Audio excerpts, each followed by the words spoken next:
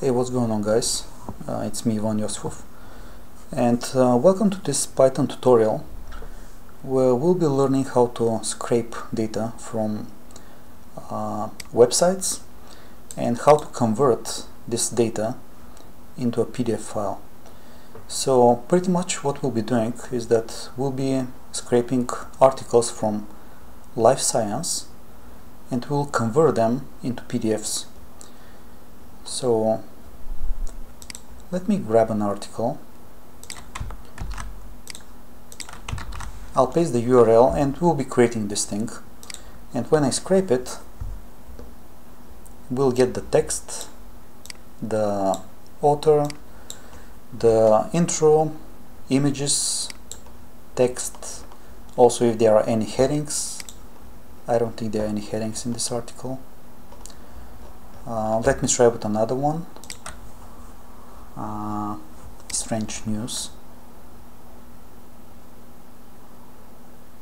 Okay, Bigfoot. Let me copy this thing. I'll paste the URL here, scrape it. And there we have it. We've got the title, we've got the author, we've got the images and the good thing about it is that I can download this as a PDF I'm not gonna save it, I'll just open it in Firefox. But here we can see it. We've got the title, we've got the author, we've got the uh, intro all the images are here, here are the headings. And in the end I guess there are some links. Okay. When we're scraping the text from the articles we're not going to be uh, using the links. We'll scrape the links as text. So links are not going to be clickable in the PDF that we generate. So these links will just be as text. And uh, this thing this service will work for any article from Live Science. And if you guys have never used Live Science it has like really amazing articles. You can learn a lot about uh, about the earth about health space uh, hist uh, history nature. There, there are a lot of stuff here. Technology. Anyway so yes this is what we'll be doing. Uh, we'll be scraping these articles, convert them as PDF and you can save them for uh, future reference. Okay, so uh, I believe that's it. Uh, now let's go ahead and get started.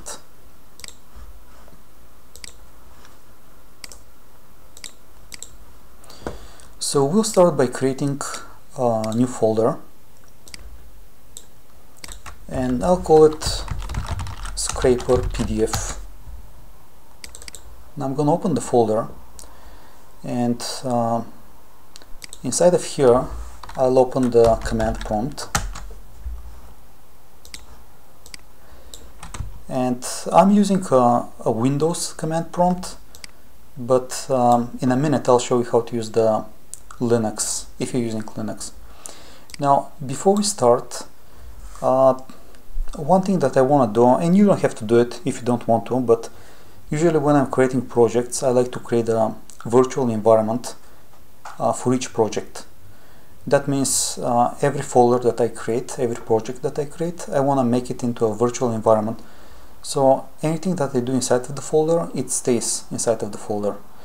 For example, in Python, we'll be using a number of packages that we need to install and when I install those packages I want them to, to install them locally for the folder. I don't want to install them globally because with pip install and the name of the package this command will install the package globally. So I can access that package from every project. And I don't want to do that. I want to install the package locally for that for that project for that uh, folder. So only that folder has access to that package. And then if I need to use it in a, in a different folder I'll create the environment there and then I will uh, install it there. Now, in order to create a virtual environment in Python for uh, your project, we're going to install a package called virtualenv and as you see I'm installing this package uh, globally. So let me run this command and uh, I already have it installed so it says requirement already satisfied. Now using this package virtualenv I can create a virtual environment for that folder. Virtualenv and then you give the name of the virtual environment. And by default many people call it just venv which is you know virtual environment. So let me run this command. And you will see that you know this inf information that virtual environment has been created. Now when I check what's inside of this folder inside of this folder I have this other folder called venv and here it is. Now in order to activate this this uh, virtual environment I'm gonna call I'm gonna run venv scripts activate. And this activate is actually a here inside of the scripts. It's a bat file that will activate the virtual environment for us. So if I run it you'll see in front of the uh, working directory I have this venv which means that this uh, virtual environment is right now activated. So anything any commands that I run inside of here will be local to that folder because this folder is act, acts like a container for everything that's inside of it. So when I install packages using pip install now this command will not install global in the packages it will install them locally for this environment. And I think it's a a better way to to create your projects so that all the packages are local to uh, the project you're working on. Now again if you don't want to use virtual environment you can just run pip install and uh, the, the packages I'll show you right now. But just so you know I'm using virtual environment and if you don't use it nothing will change for you. There there'll be no errors or stuff like that. You'll just be installing stuff globally. Anyway so let's install the packages that we'll be using. And actually let me show you something pip if you run this command this command will show us all the packages that are installed right now. And if I run this command you'll see there is nothing because we haven't installed any packages. So uh, let's start by installing the packages that we'll be using. Uh, so first of all we'll install the requests library and the beautiful soup. Beautiful soup 4 so these two packages will be used for uh, connecting to the URL and uh, scraping the data.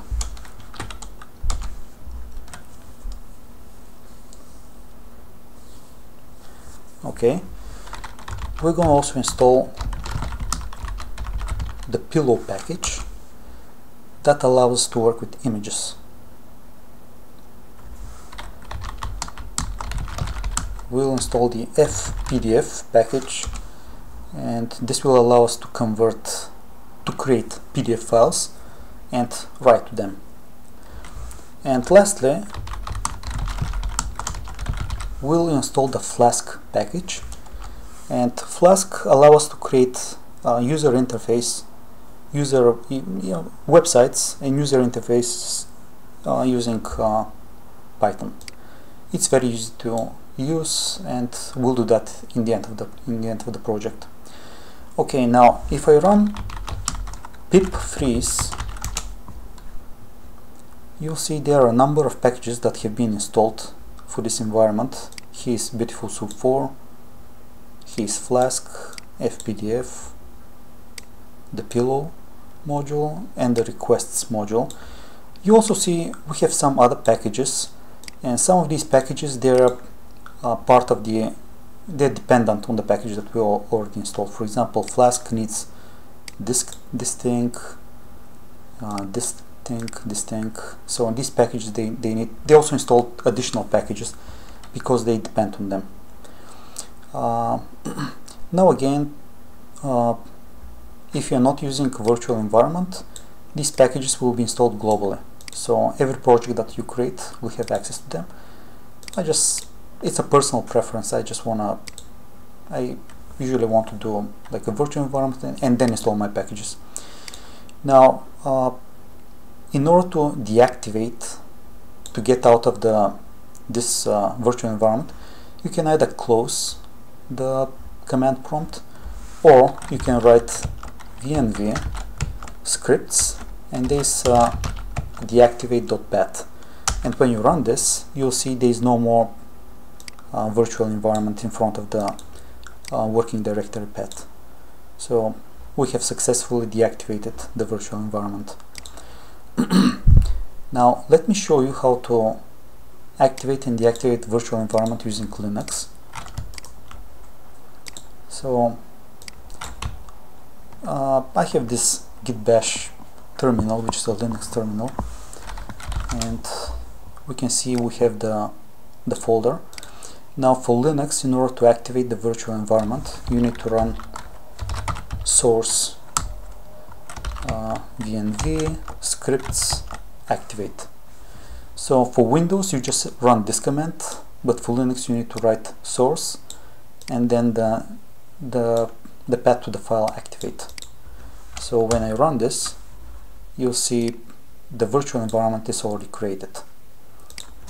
And the same command work here like in Windows pip freeze for example to show the installed packages and yeah here all the packages that are installed. Uh, in order to deactivate this uh, in, in the in the Linux terminal you just run uh, was it deactivate? Deactivate. And when you run it you'll see the virtual environment is no longer present. So this is for the Linux uh, if you're using Uh, Linux. This is how you activate and deactivate the virtual environment. Now that being said I'll continue using the Windows command prompt but there should be no difference if you're using Mac or Linux. Okay so let's go ahead and get started. Now I'm gonna create a file here called main.py and I create a folder. I'll create a file called main.py and inside of this file we'll be writing the logic of our program. And uh, I'll be using I'll be using the Sublime Text editor. But uh, you can use whatever editor you'd like to use. You can use uh, PyCharm or Visual Studio Code or even Notepad, Notepad++. You, you're free to use whatever you want. I'm just using this uh, right now. So the first thing we want to do here in the main in the main.py file is to uh, import the packages that we installed. So I'll start by importing two packages that, that are part of Python OS and Shutil or Shutil, not sure how it's pronounced. We'll be, we'll be using these packages when we're working with um, files on the on the file system. and when we get to these packages, I'll explain them.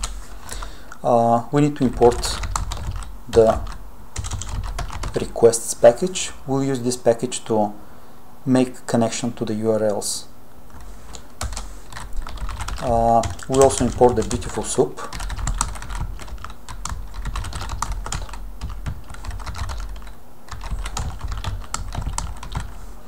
So beautiful soup is part of this bs4 package and that's why we need to import it like that from bs4 import beautiful soup. And we'll give it an alias or a nickname. So as not to write beautiful soup we can just write bs which is abbreviation for beautiful soup uh, we also need to import our image manipulation library. And uh, I know we installed pillow but in order to import the pillow library we need to use it uh, we need to use this PIL package. So it's part of the PIL package. From PIL import image and we'll use this uh, module to get the dimensions of the images of course we need to import the PDF FPDF library. And we'll be using this library to create PDFs and also to manipulate them. And uh, a little bit later I'll also import the Flask library. But uh, we'll do that at the end of the project. I don't want to confuse you too much right now. So let's just see how to incorporate these packages and when this script is working we'll convert it into a web interface using the Flask module and then I'll import it in here. Okay so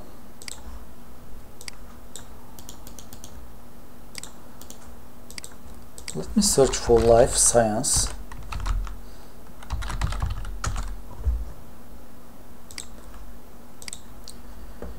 So uh, I'm gonna be using with a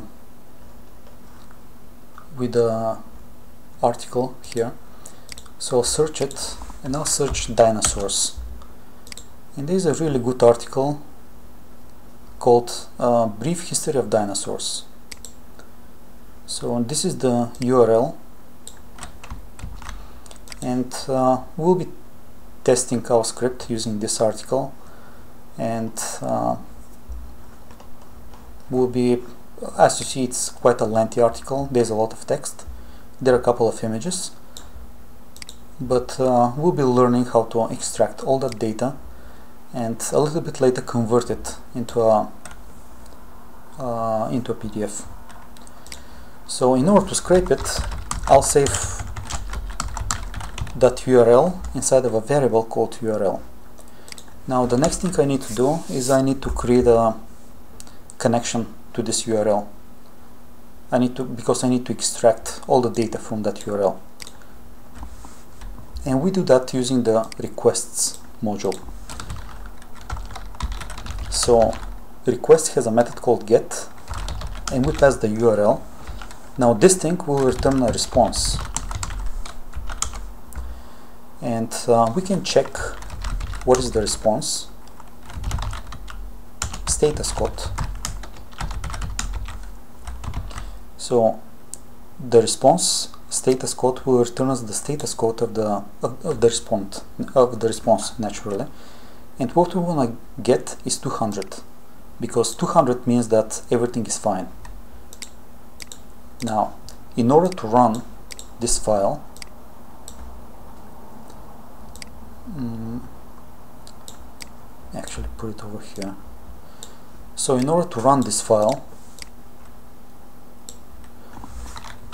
I'll I'll run it using python main.py and we're getting 200 so this is the status code of this URL which means we're reaching it. There, there are no problems. And usually this is the response code you want to get from from URLs now currently uh, this requests.get when it reached the server and asked for this the content of this uh, URL it will identify its, itself as a bot or as a script. So it's pretty much telling the server hey I'm, I'm a script. Give me this uh, the, the content of this URL and some websites especially sites like uh, e-commerce websites they would usually block uh, requests from scripts or from bots so what we need to do is um, this is not the case here but I'm just gonna show it to you. Um, if you wanna uh, how should I say it? If you want to impersonate a browser if you want to uh, say to the server hey I'm a browser give me the content what you need to do is you need to open any page. It, it really doesn't matter what page. Uh, then click F12 which will open the uh, where is that or if there is an inspect option you can use the inspect option. And it will open this uh, uh, console at the end of the browser. And you need to look at that network tab.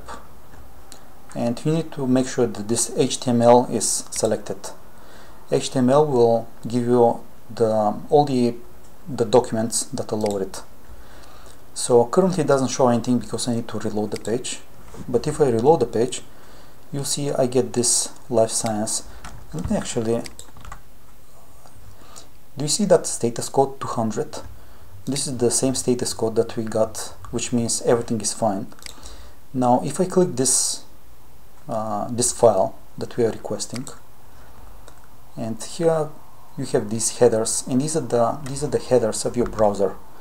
So this is uh, this is what you are getting the response headers and if you scroll a little bit down there are the requests. So these are the requests that the browser is sending to the server. And if you scroll a little bit down here you have this user agent uh, string. And you need to copy this string. And we'll say it as headers. And this needs to be passed as a dictionary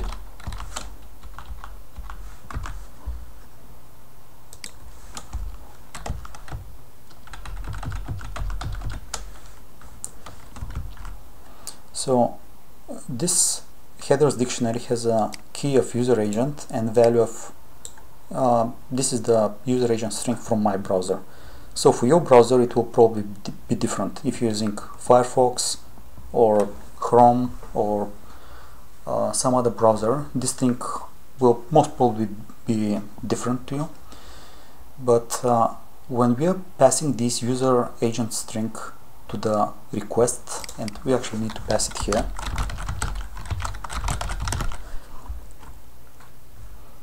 So this thing will tell the server hey I'm a browser. Give me the content. And this is how you know uh, the server will say oh it's a browser so I'll give you the content. You do not identify yourself as a, as a script. You identify yourself as a browser. And uh, a little bit later we'll be doing other projects. We'll be we'll be scraping e-commerce websites and you'll see that some websites they don't give you the content unless you identify yourself as a browser. They will block your request if you do not identify yourself as a browser. Okay so if I run this thing again I'll get the same content. Now this uh, domain Live Science it doesn't care where you're a browser or a, or, or a script they'll, they'll give you the information. So this is just for future reference. If you want to know how to get your user agent string this is and then pass it to the request.get okay uh, enough about this. So I'll delete this. Now when you get this response now let me show you how it will look so response.content will will give you the HTML of, of this of this page so if I run it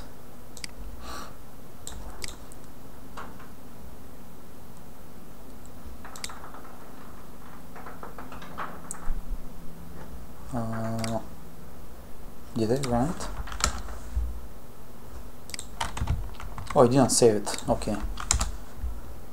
Okay, so this is the response of the page and it all looks kind of jumbled because there's a lot of scripts and everything is uh, mashed together. Uh, so what we want to do, let me just clear everything. And I just noticed I didn't activate the virtual environment. So let me do it really quick. Uh, okay. So now my virtual environment is activated. Uh, now what we want to do is I want to convert this HTML into a into an object that I can easily search, filter, and extract information from it. And this is where we'll be using this uh, beautiful soup module. So I'll convert this HTML into a soup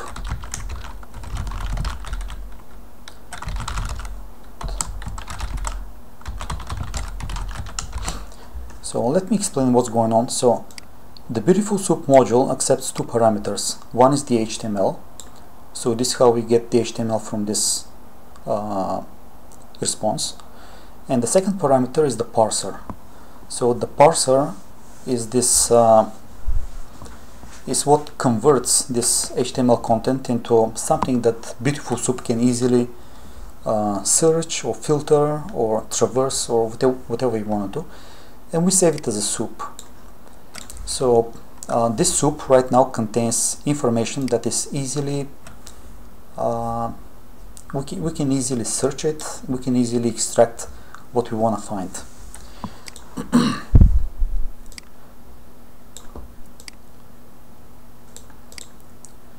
okay, so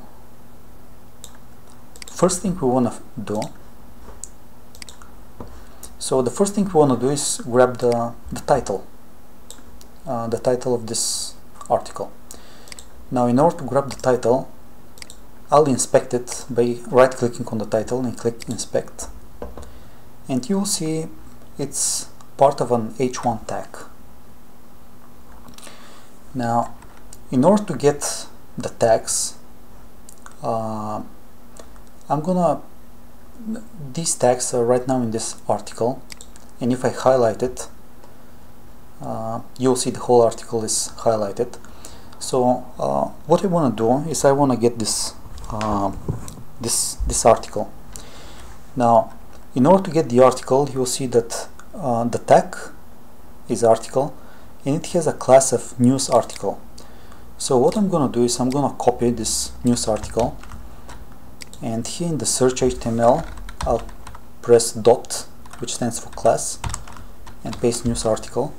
And I'll see that the news article is I can find it in two places in the in this document. The one place is the HTML the, I mean the CSS and the other one is the tag. So this means that I can search for this news article inside of this soup. And how do I do that so I'll save it in an article variable. Now soup has a method called find and the find method will always return a single item. And I know that there's only one article with the class of news article, so I'm going to use that method. This will return a single element from the soup or from this HTML uh, document. So I need to say what I'm looking for. I'm looking for an article tag and the second parameters are uh, they are all actually optional. You can pass attributes. Now this article as you see has a class of news article. So here I can say I'm looking for a class called news article. And so uh, the find method will search for a specific tag with specific attributes. In this in this case we want an article that has a class of news article. Now when I print the article and run it here uh,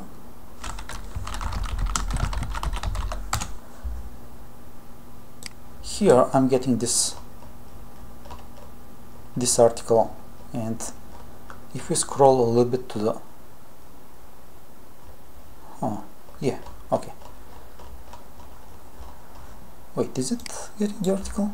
Yeah. So here we're running the command and it says article and it includes everything that is part of this article. And you see there's a lot of stuff that we're getting. But at the very end it's the closing tag of the article. So everything inside of this article we're getting it using this command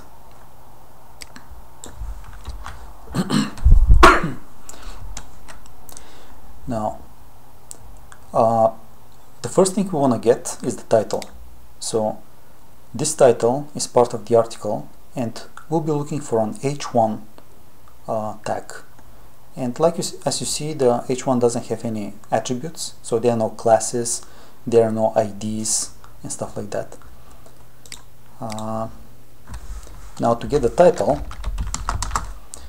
we're not going to be using, we're not going to be searching inside of the soup, we're going to be searching inside of the article. Because we've already located our article and we'll be searching inside of the article. Because there's no need to search in the whole soup. We already have the article tag. And again we're going to use the find method. Because find will return a single uh, a single element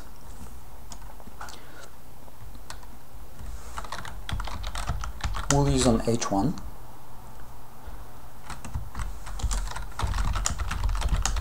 and when I run the this thing here I'm getting the the element. Now it will return the element including the opening and the closing tags. And in this case we want to get only the text. So we can pass get text. I'll save it I'll run it and we get only the the text. So the title is ready. We've already we've already got the text of the of the of the article. Okay. Uh, next thing we want to get is the author.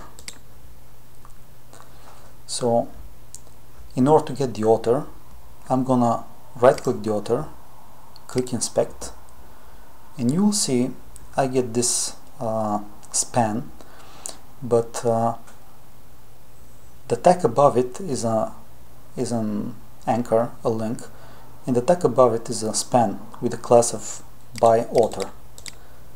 And let me search this by author and see how many times I can find it inside of this. And there are 12 um, mentions of this class. So one of them is in inside of the CSS, the other one is inside of the article, and there are also other by authors, but uh, they are part of different. Uh, they're also inside of articles, but they are not inside of our articles, because at the end here, you can you see these ones. There's some previews of other articles with uh, with uh, authors. So they're inside of articles, but not inside of articles with a class of with a class of news article. So inside of the news article I have only one span with a class of by author. So I'm going to use this uh, I'm going to use this to, to get the author. So again I'm using inside of the article. Now if I use find and was that a span? I, yeah it's a span of class by author. So I'm looking for a span and I want the class to be by author.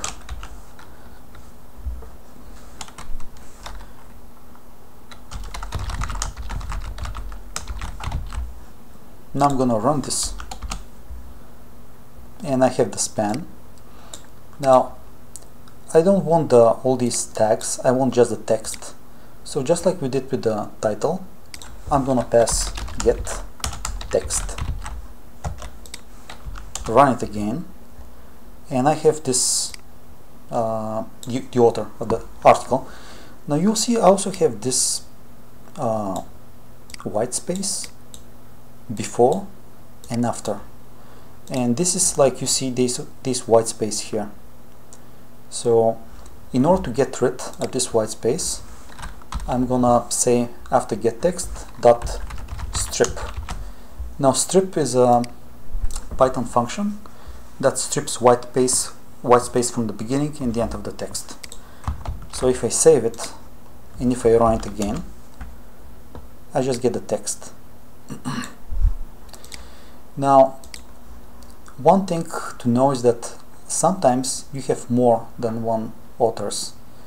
So if you have more than one authors this this line will get just the first one. Because if find finds more than one it will return you only the first one. And in this case we don't want to get the first one. Uh, we want to get we want to get uh, all of them so inside of instead of find I'll use find all. So inside of the articles find all spans with the class of uh, by author and we can not run get text because this will return an, an array an array of tags. And you, you cannot uh, run get text and strip on arrays. So let me actually show you what this will return. If I run it I'll get a, an array of a single element. Now if I had a second author it will be there'll be a comma and there'll be a second tag here. So once I get the uh, all the authors because uh, some articles have one author but some have two or three authors uh, in order to get the authors I'm gonna uh, convert. So like I said authors actually let let's call it no let's keep it singular. So this will be an array. And what I want to do is I want to convert uh, this array into a string into strings. So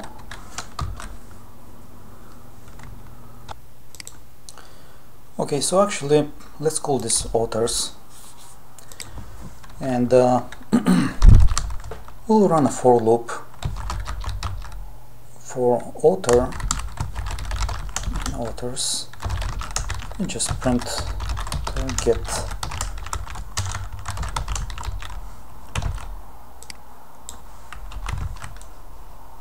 uh,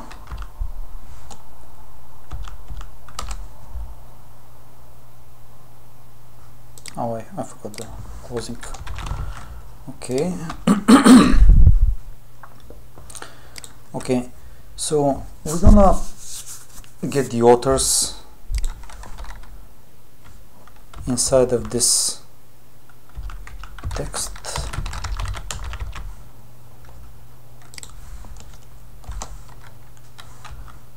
Let's call this authors author tags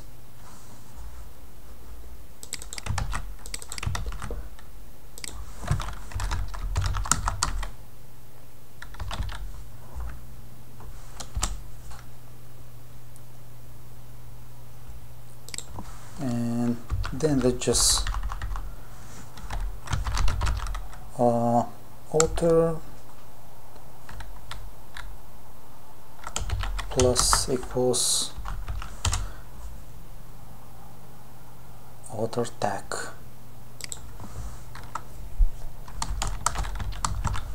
And we'll do something like that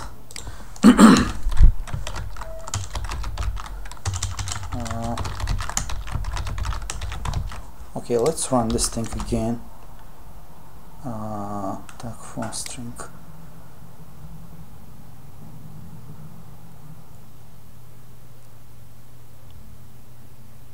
what it, nice. Oh, I'm using author and author here. Uh, okay, let's call them authors.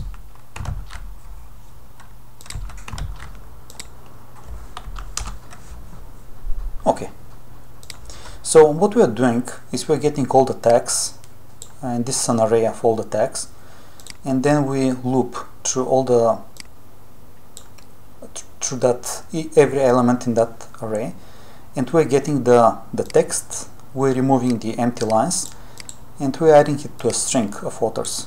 So if there are more than one authors it will be author 1 space author 2 space author 3 etc so these authors will contain the authors of the article. And some articles have one authors and some have more but this is pretty much what we're doing here. Okay. Now the next thing we want to get is this intro text. So again I'm gonna right click it inspect and I'll have this P with a class of strapline and let me see how many times we can find it inside of the article. So we can find it once inside of the CSS there's a span somewhere here with the class of strapline and then we have a paragraph. So we'll be looking for a paragraph with the class of strapline strapline inside of the articles inside of the article. So I'll call it intro. And we'll look inside of the article. Again we'll find a paragraph. And for the attributes we're looking for a class of strapline and again we want to get the text. And for good measure we'll pass the strip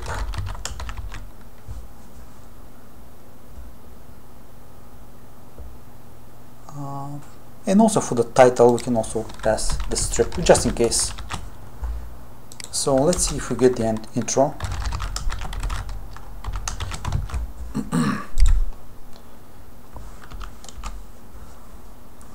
And there we have it.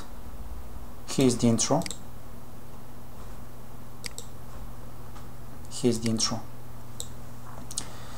Now the next thing is we need to get the we need to get all the images and all the text inside of the article.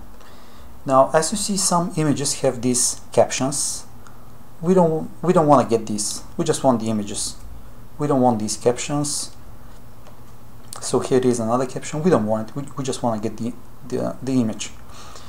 Now this one uh, thing that I noticed when I was doing this project is that this first image is actually let me show you. If I inspect it so here's the image tag which is inside of the picture tag. Uh,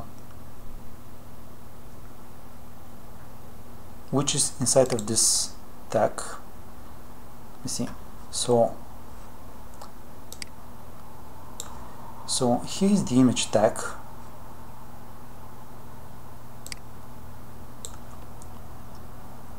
Uh, wait where was it? Okay. So this image tag inside of is inside is part of the article. So here's the whole article.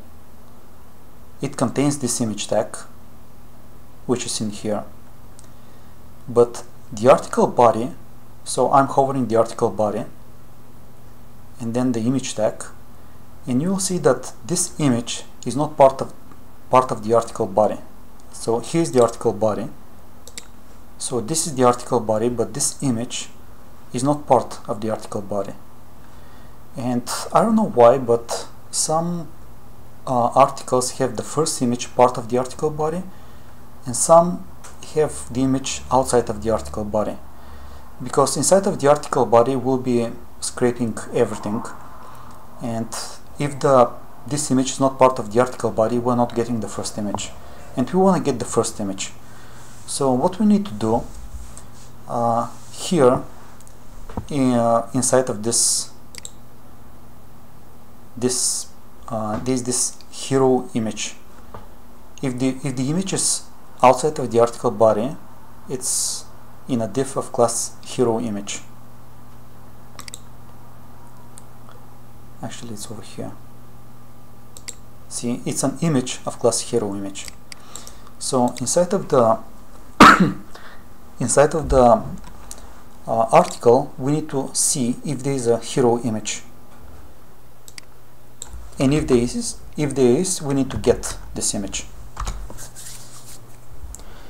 So let's actually uh, first get uh, the image. Uh,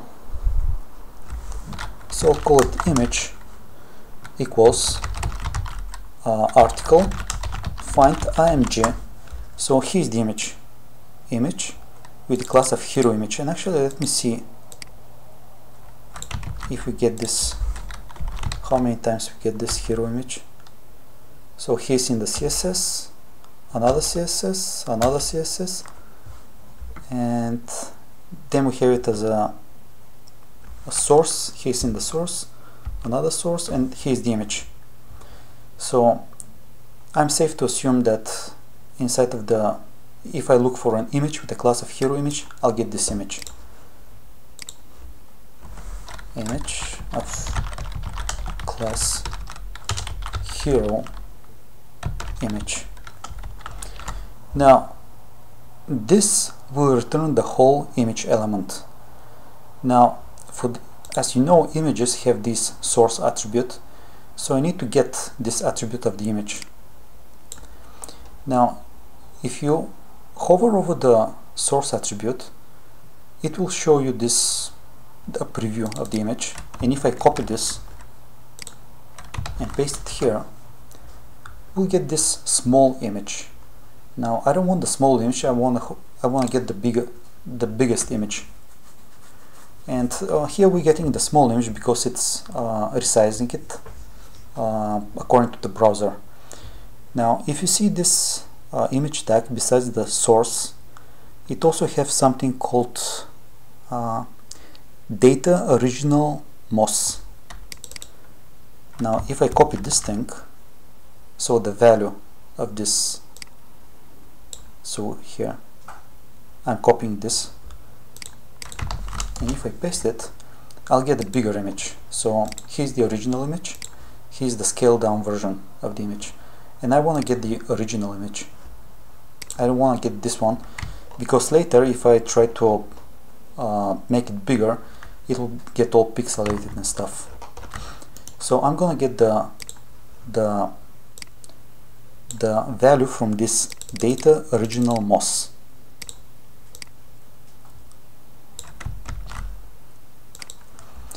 now in order to get the value of an attribute what I need to do is here inside of uh, inside of these brackets I need to pass the value of the uh, not the value the key of the value I want to get. So in this case I want to get the value of data original MOS and let me see what that will will return and I'm getting this string which is this one.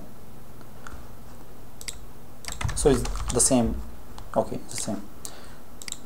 So once again article find image this will return the the tag. And when I pass this uh, these brackets uh, I can get values of specific keys so if I want to get the source I'll pass here src if I want to get uh, sizes I will pass sizes. But in this case I want to get the data original MOS now like I said here we have a picture that is outside of the article body. So here's the article body and uh, in a minute we'll start scraping the article body text and pictures. But if the picture is not in the article body we want to get it. But if the picture is not is inside of is not inside of the I mean if the picture is inside of the article body this will return an error. Because uh, Python will try to find an image with the class of hero image. It won't find it. This will return none and then we're trying to access uh, an attribute of none. So this will return an error. So that's why I'm gonna put this inside of a try except block. So if this returns an error we'll just pass. This means don't do anything. So if there is an image inside of the header we'll get it. But if this image does not exist here inside of the header. Just continue as if nothing has ever happened. So that's why we're putting this inside of a try except block. Okay. So last we need to extract all the text. All the text inside of the article body, all these headings, all these images, and if I scroll a little bit down, here we have list items. So inside of the article body, I want to extract these four elements.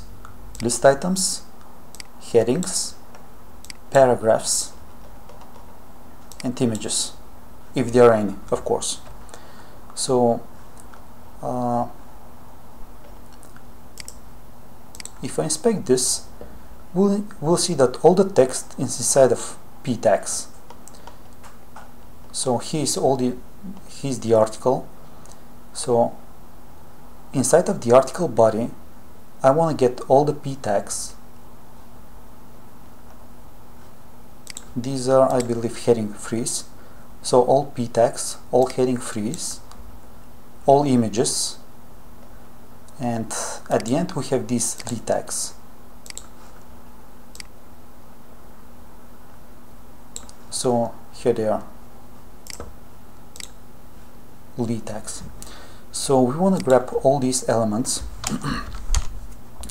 but uh, first of all, let me just get the the, the, the article body.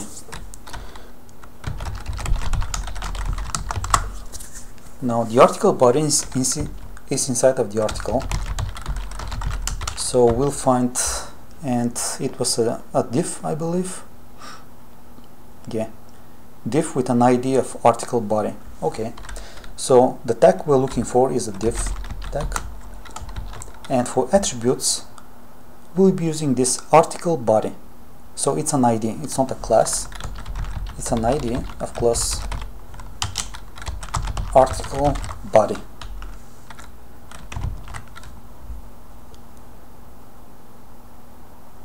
Okie dokie.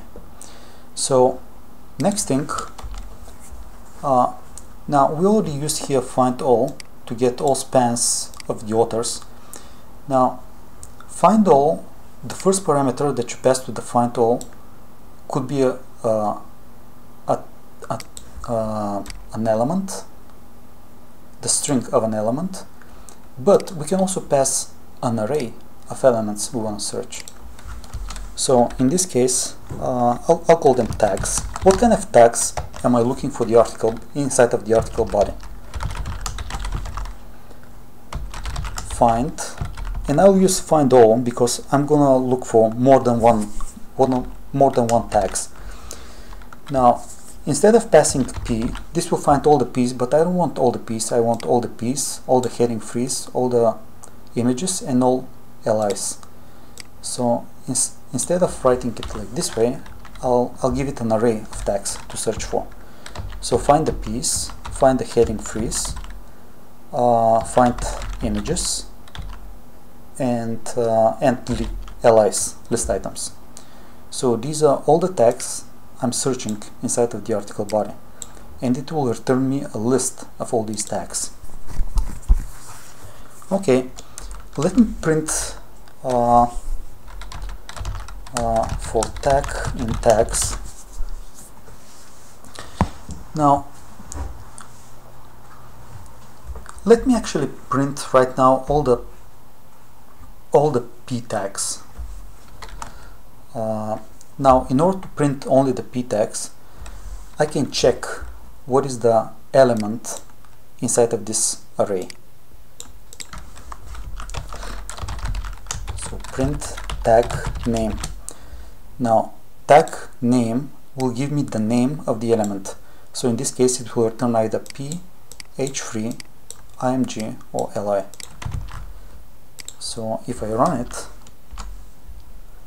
and I have all the tags p heading free image and the last three are li's and I know that because the last three ones are li's and before that we have an h3 so take it is. H3 li li li okay now we need to clean actually these ones uh, because they're not exactly like that so let's start with the p tags now if tag name is a p So what do we want to do here? Huh. Okay, if tag name is a p, uh, what do you want to do this? What do you, what do you want to do? Now let me actually print it for now. Uh, tag get text and let's let's run strip so if the tag is a p tag print the text of the p tag so let's see what this what this is going to give us let me clear okay. Let's scroll to the top. And actually you know let me add a empty line at the end. Uh, oh did I close it? Sorry about that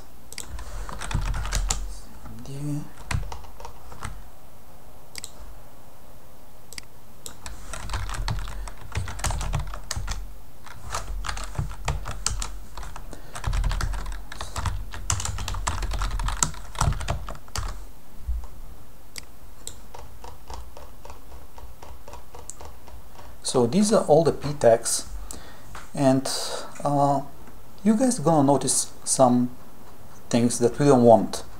So here's a tag. So here's a paragraph empty line. Paragraph empty line. Now here you have a paragraph empty line another empty line another empty line. So some of the p tags are empty. And for example we have this some dinosauromorphs. And if I scroll a little bit here you can hear you can see this one. So this is the paragraph. And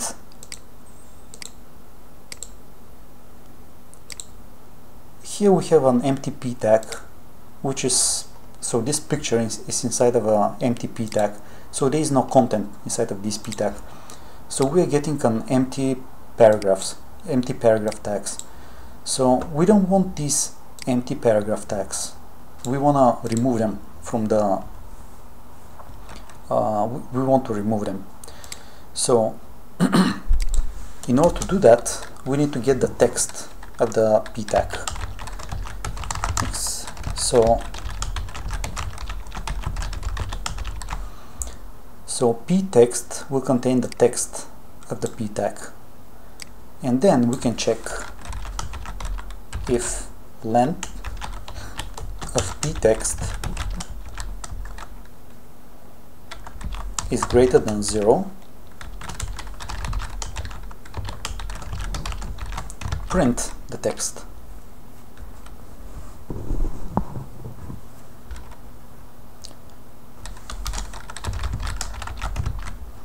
Now if I clear the terminal and run it again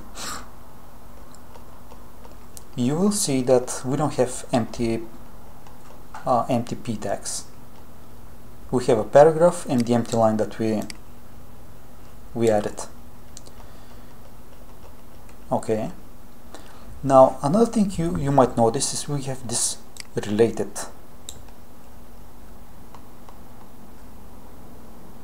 so we have these paragraphs that start with related. Uh, I believe there were a couple more.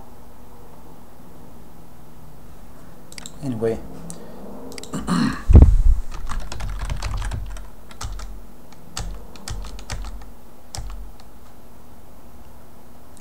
Okay so in this article we have only one but in other articles there are more of these related and I don't want these related uh, paragraphs. So I need to remove them from the I need to remove them from the text.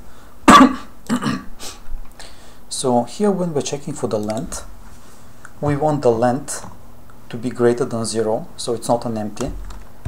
And we want the p text and there is a function in Python called starts with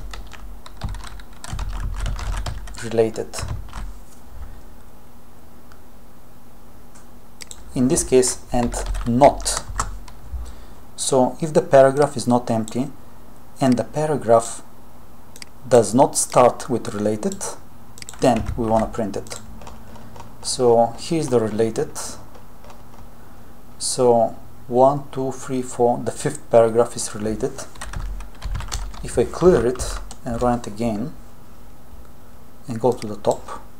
One two three four and the fifth one is gone. So we get rid of this related. And some articles have more than one related text so in this way we are we're just removing these ones because we don't need them.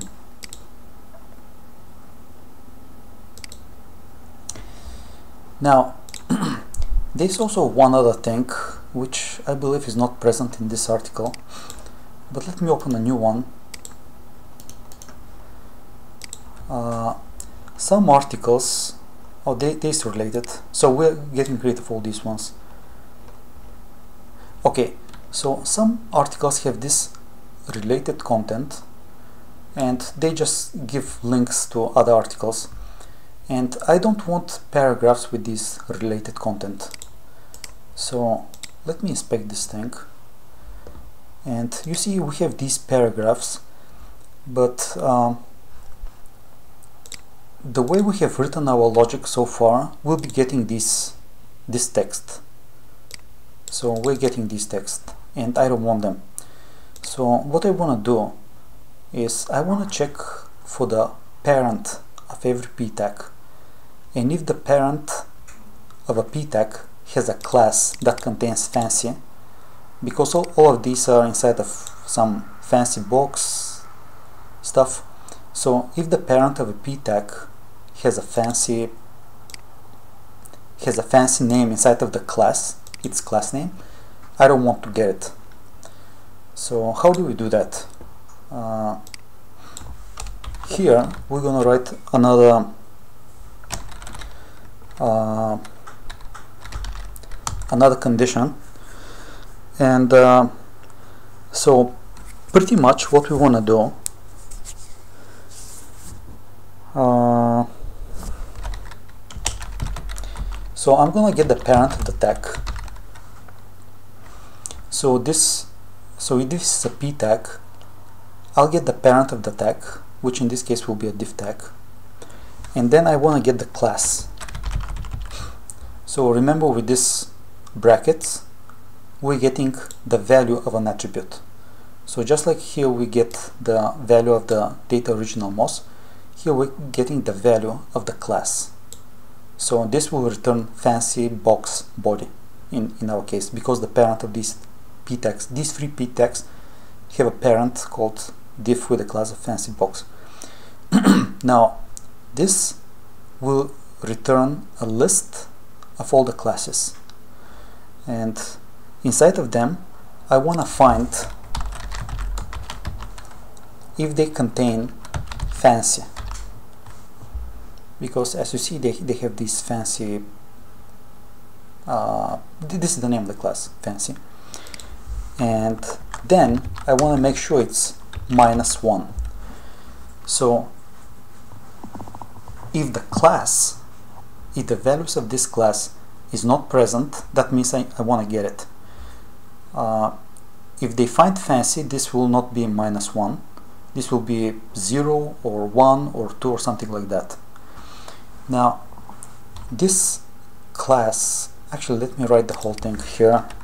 And I apologize if this seems a little bit uh, if this seems a little bit kind of complex. Uh, we can write inside of a loop but I decided to create a single line.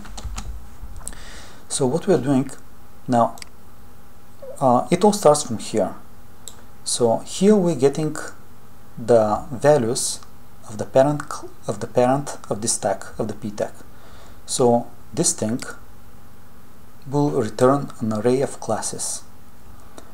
And what I do is I join because these are separate values inside of the array I convert this array into a string.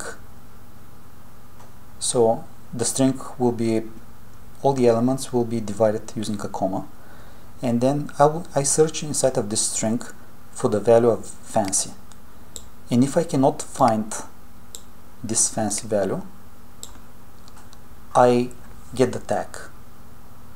So that means the P is not part of a div with a class of fancy. Okay, I know that was a lot, but uh, pretty much we're making sure that we do not get paragraphs that has the class that whose parents have a class of fancy. okay, uh, and in this article that we are testing, we don't have this related content, but in many other articles you have this related content. So we just want to get rid of all this. We, we don't want this. We want to uh, ignore them. Okay, now, uh, so if the the tag is a paragraph, we want to make sure that the paragraph is not empty. The paragraph does not start with related, and the paragraph doesn't have a parent who has a, which has a class name of fancy. Okay, now what if the tag name is on heading three? So remember we're getting paragraphs, heading three, images and lists. So if the tag name is a heading three, what do we want to do? Well, for the heading threes, there isn't much we can do. We're just getting the we're just getting the text. That's all.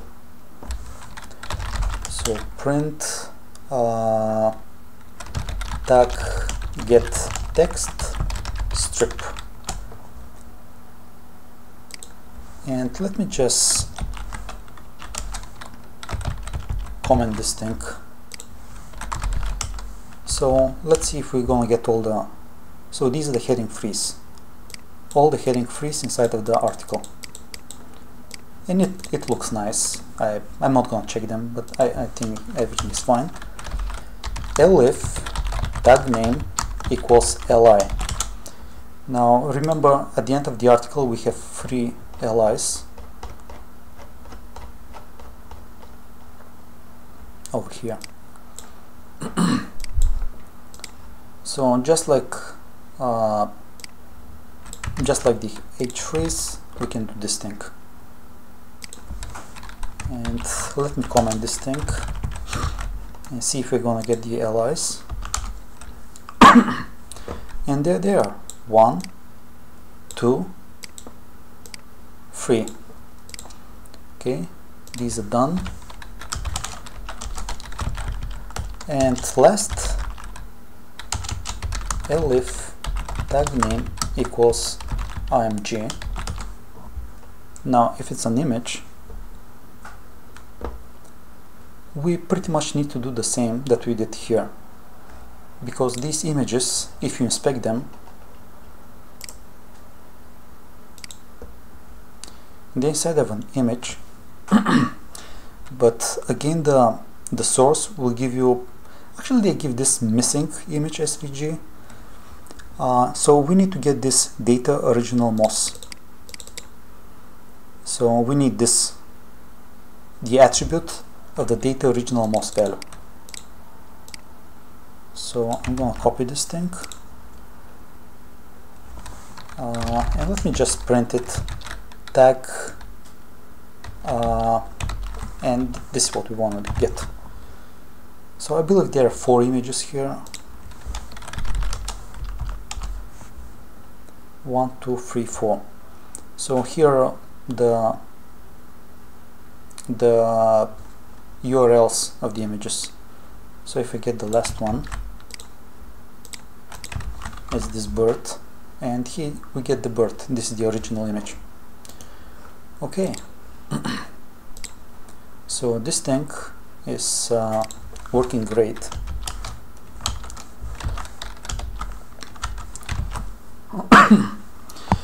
This thing is working great but uh, when we are converting all that text into a PDF uh, we need to actually we need to make this inside of a function that will return all that information so that the PDF can use it and uh, the PDF when we're creating the this PDF file, we need to know uh, if the text is a H3, if it's a heading, if it's a paragraph, if it's a LI. So this way, if I print all these things,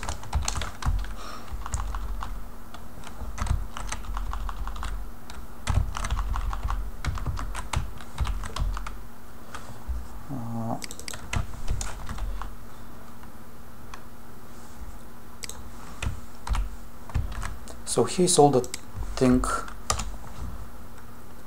So there are LIs there are headings there are paragraphs there are image URLs so the PDF needs to know if these are headings if these are paragraphs if they are uh, LIs etc so before we do that I'm gonna convert this thing first into a function. Open this thing. So uh, we're gonna create a function called scrape data. And this will accept a URL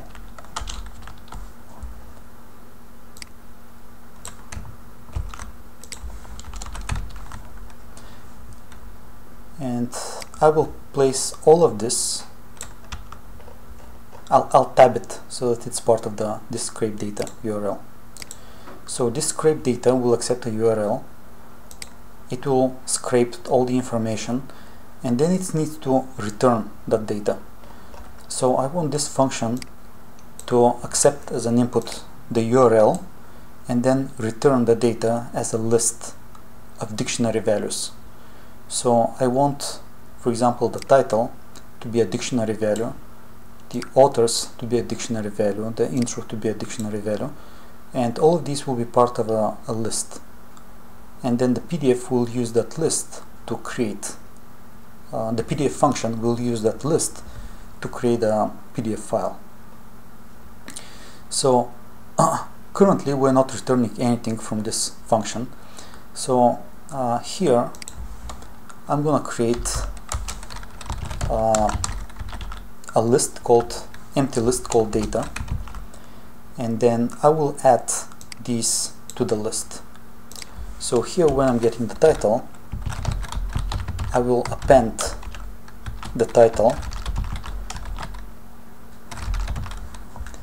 So I will create a a dictionary uh, a dictionary with the key of title and the value will be the, this this title. So I'll do the same for the authors.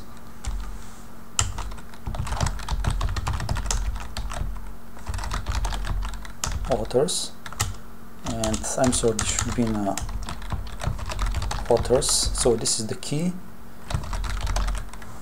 This is the value. I'll do the same thing for the intro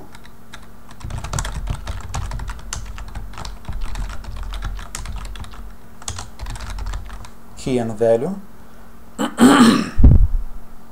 Now for this image I'll put it inside of here.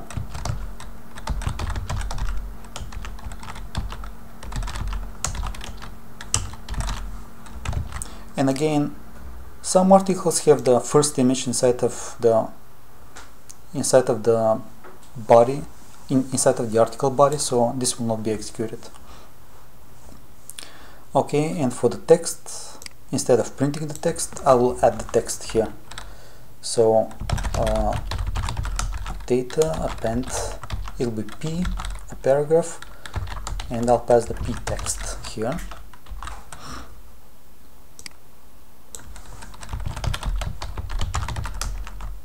And I'll pass uh, this will be a heading three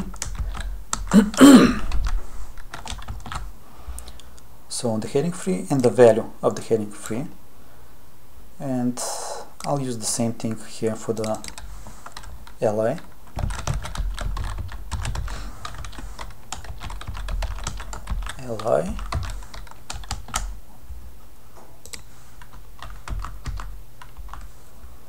and for the image.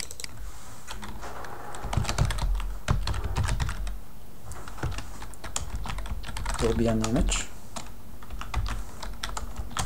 and we're passing the URL of the image. So after we have get this so I will return data. So data will be a list of dictionary items.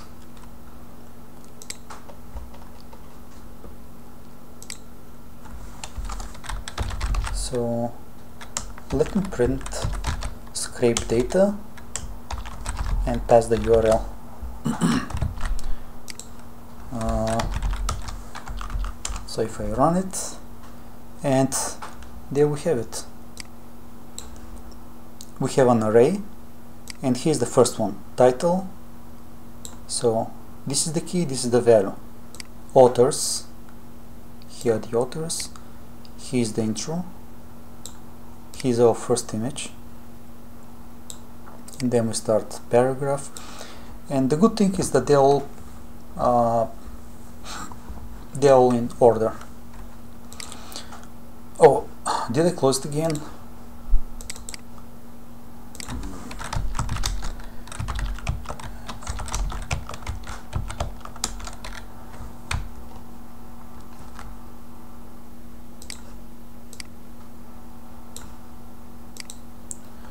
Okay we're I would say halfway done with this thing now uh, what we need to do right now is we need to create a PDF function that will convert the data returned from scrape data into a PDF file.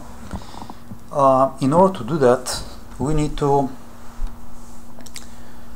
uh, we need to take care of the images because currently the images are saved as uh, as URLs and if I pass a URL to a to the PDF file it will just print it as a, a string a URL so I need to get these images which means I need to download these images.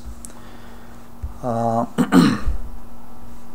so I'm gonna create a function that will download the images and then I will use this function in the PDF because uh, the PDF will use that function will use that function to get all the images and then place them inside of the inside of the PDF uh, and I'll call download images. Now again we need to pass the data uh, and this data will be was returned from the scrape data because I'll get the URLs from the scrape data and we also need to name to give it a folder name. So where do we want to uh, where do we want to save the images? And pretty much what I want to do is I want to create a, a file called images that will contain all the images downloaded for the PDF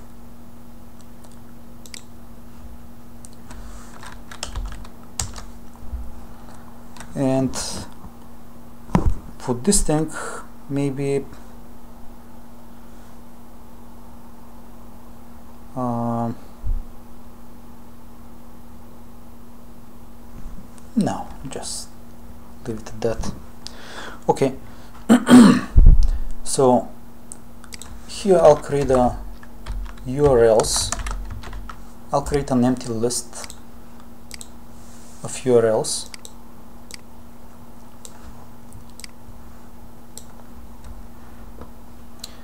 and then I need to iterate over the data array and check if the if the item is an image.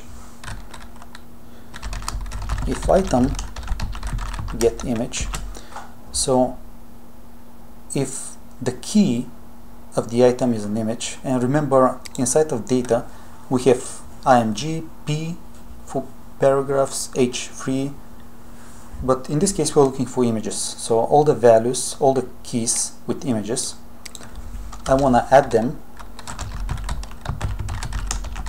Item get img so this is how we're getting the value of the key and this is how we're checking the key. If the key is an image get the value and put it inside of the URLs So we want to grab all the URLs of the images and place them in this um, in this list. Now I need to create a folder name with the one that is with the name I pass. And here is where I'm going to use this this OS module which is part of Python. So this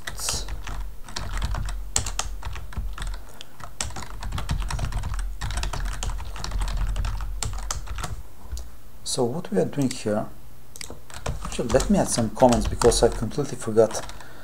Uh, get all URLs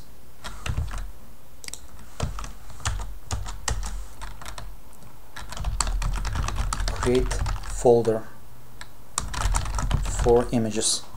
So what we are do doing is we're checking if a folder with a specified folder name exists and if that folder doesn't exist create it. So we're creating pretty much a folder using Python. So instead of coming here and doing new folder we're using this from from our code. So if the folder with this specified folder doesn't exist create it. This is just the Python way of creating these images. So we have the URLs we have the folder now we need to download the images. So I need to go over all these images.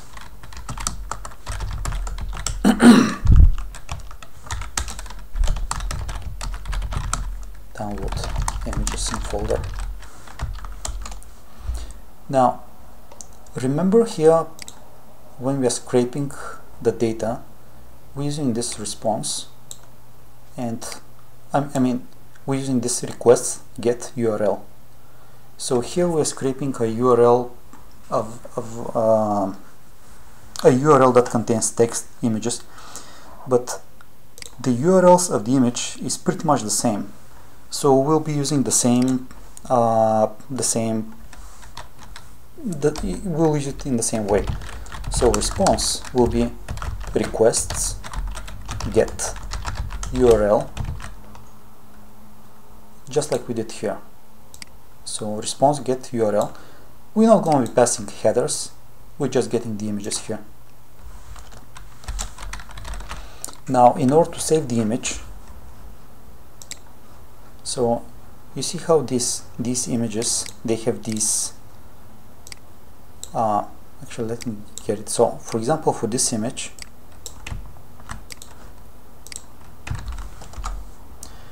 this image so this is the name of the image and this is what I want to get. Because when I save the image I want to save it with that same name. So inside of my folder I want to have images that are like that. So in order to get this image I need to get the name of the image first from this response. I mean it's, it's also part of the URL so this URL contains the whole URL including the image name. So I will split it uh, by the slash. So so here's a slash here's another slash. So I'm splitting all this all this image all, all this URL I'm splitting it by the slash here. And I need to get the last value from this array so split will contain an, uh, an array. And in order to get the last one I'll type minus 1 so this will get the last value. So this will get the image name. So this is the image name that I'm gonna use when I'm saving the image. Now in order to save the image uh, we'll use the open function which is part of Python and here we need to pass the the the path to the image. Now the path to the image will contain the folder and the its and the image name. And in order to concatenate the folder name so in order to concatenate this folder name with this image name we're gonna use the os path join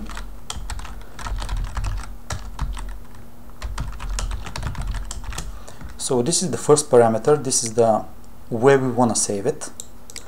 And the second parameter is how we want to save it. And this is for binary format because images are not text images.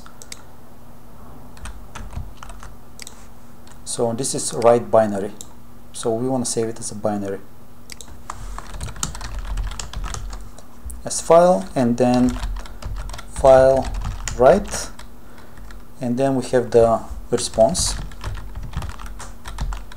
Content.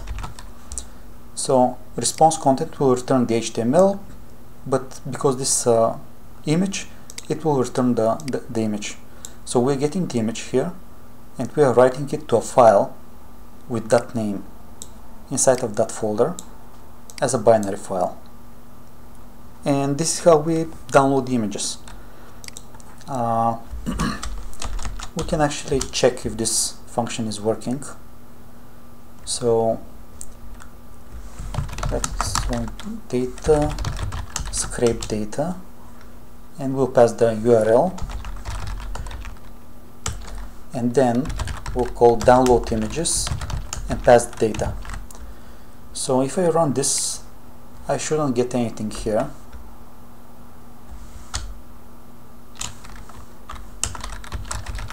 python main.py actually let me open this folder.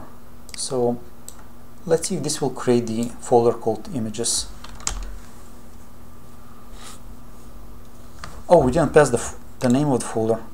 So download images accepts the data and also the folder name. In this case I want to call it images. So let's run it again and there we have it images. Now if I open images I have all the uh, images that I downloaded from that article. And there are four images and this is what I, five images. There are five images and I'm getting them with their uh, extensions. I mean with their the, the, names. Okay so I know this thing is working. Uh, so now what I need to do I need to create a PDF file.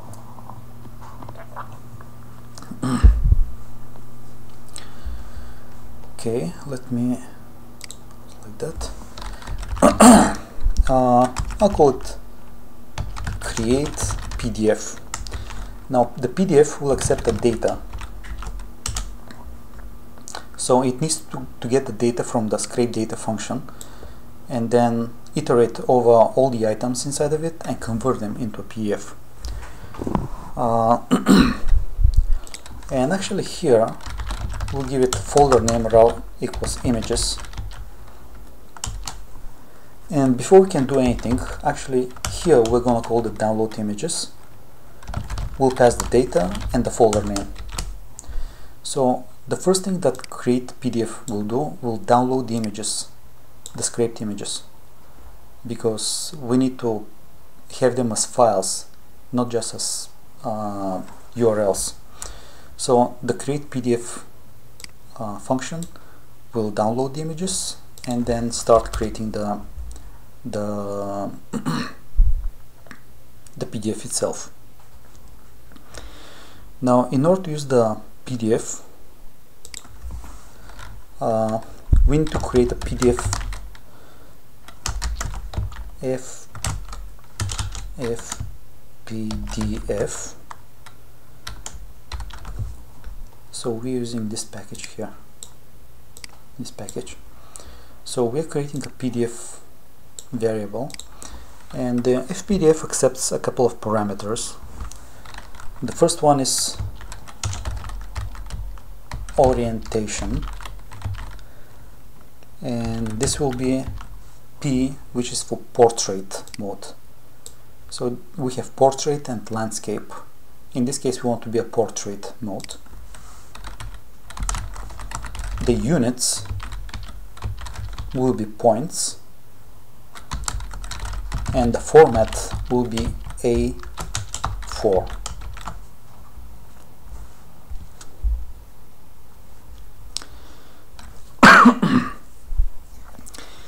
now before we continue guys uh, for some weird reason uh, when we're creating PDFs uh, I'm actually not exactly sure what was the problem but sometimes inside of the PDF you'll have uh, characters that are not uh, that are Unicode characters but that are not like uh, basic Unicode characters. And for some reason FPDF by default doesn't save in doesn't read the characters as UTF it reads them as uh, I think Latin 1 so that will give an error. So one way to overcome this this problem is we need to uh, set we need to set a, a, font name for this FPDF because the default font name in FPDF is uh, Latin 1 it, it, it uses uh, the Latin 1 encoding. And we don't want that. We, we want to set UTF uh, encoding. Uh, so just for good measure I'll go to Google Fonts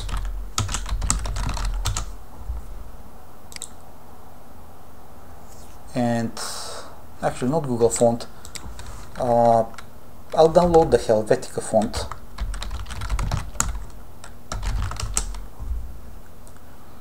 And here free fonts family. It doesn't matter where it's a completely free font.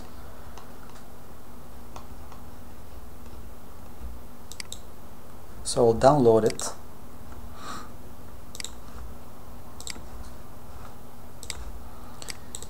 and here actually okay extract them I don't want them like that. Uh, here I'm gonna create a folder called fonts. And I'll extract them here. So we have Helvetica, Helvetica Bond, Bold Oblique, Oblique, this is the italic, bold italic, bold, and I don't need these ones. So pretty much I'm gonna be using these ones.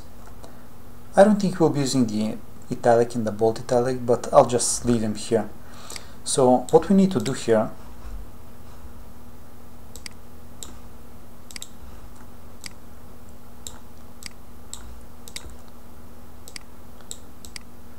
we need to tell the FPDF that we'll be using these fonts. And then we're gonna set the encoding to UTF so that we don't get problems when uh, PDF cannot render UTF encoded characters. Because by default it, it encodes just Latin Latin 1 encoding. So everything else that is outside of that encoding will, will throw an error. And it took me a while to find a solution to this but anyway. So we're gonna create a couple of fonts here. Uh, and we use this add font. Now the first parameter is the the name of the font. And I'll use uh, Helvetica. Now the second parameter is the style. And the first one will be the regular style so I'll pass nothing to it. And then the font name and then I need to pass the the this the path this font name. So main go to fonts and this is the font name. And then you need to type uni equals true which means use the unicode unicode character set. Do not use the do not use the default the default uh, Latin 1 encoding, use the Unicode. And uh, let me add also the other ones. So for all of them I'll use Helvetica, we'll call them Helvetica. Now for the style, the second one will be bold. So this is the uh, this is the name. For the third one, this will be actually let me use this one first. So this will be the italic. For italic for the style I need pass I. And for the last one we'll use BI which is for bold and italic. So this is the font name. Uh, we're not going to be using these two but I'll just add them just just in case. Maybe you need them. Okay now when the the fonts are added we need to instruct FPDF to create a web page.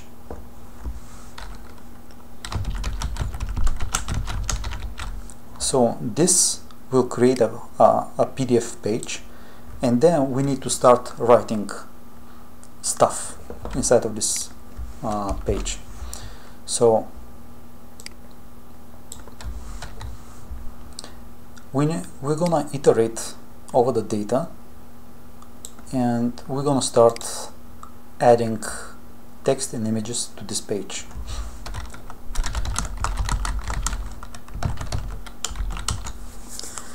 Now as you remember in data we have uh, different uh, keys dictionary keys.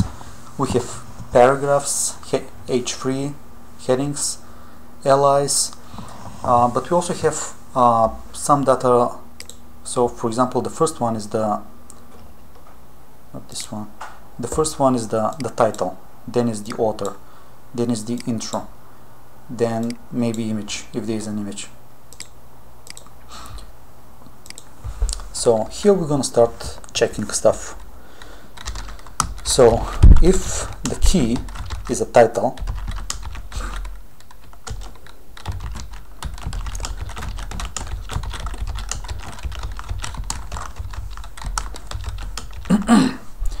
so if it's a title I want to print it in this orange color. Now set text color gives a color to the text and we need to call this function before writing the text. Uh,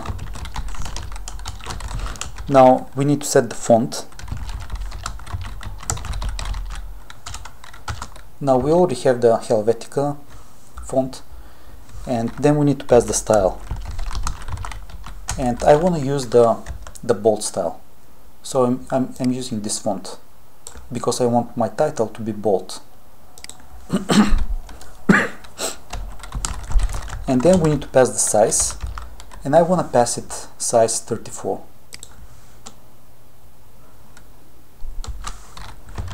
now actually let me show you before running this code. So uh, before we move to the other ones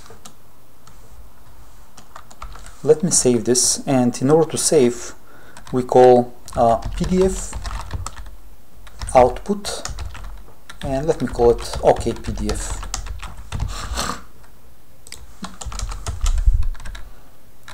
so let's check this function and see what it's gonna do.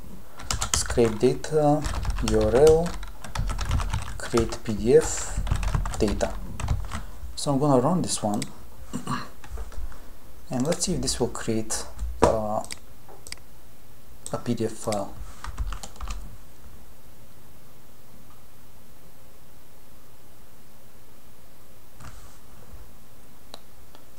one seventy eight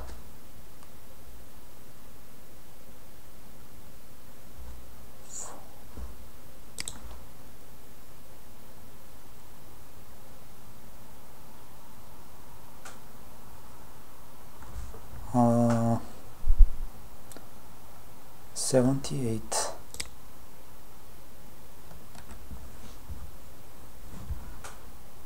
PDF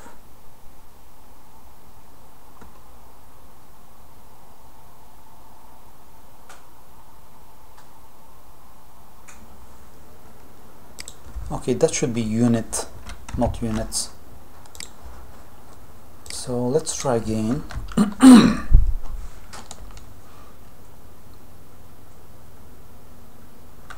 Okay we there's a new file here. Okay PDF I'm gonna open it.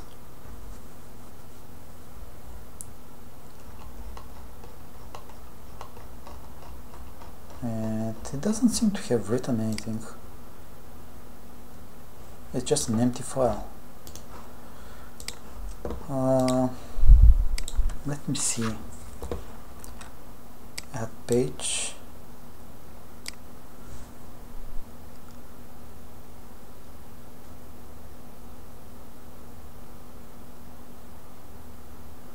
Oh I'm sorry guys. We forgot to write the text.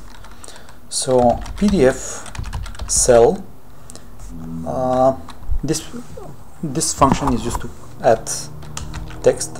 Now the first parameter is the width and I want the the width to be 0 height 50 now item get in this case title. So this will get the value of the title align C stands for line center. And line 1 means a single line. Okay let me run it again did I close it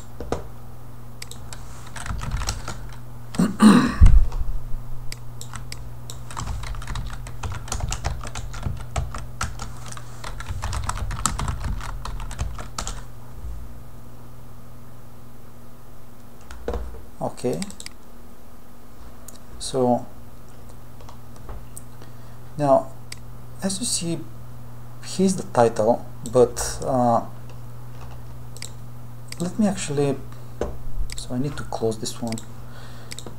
Uh, let me make it bigger like 64 for example. So if I run it again and open it you'll see that the title is uh, longer than the the width of the PDF file. So this is not what we want to happen so in order to avoid it instead of saying cell uh, we're going to say multi-cell so multi-cell will wrap the, if the text is bigger than the uh, the PDF file it will wrap it.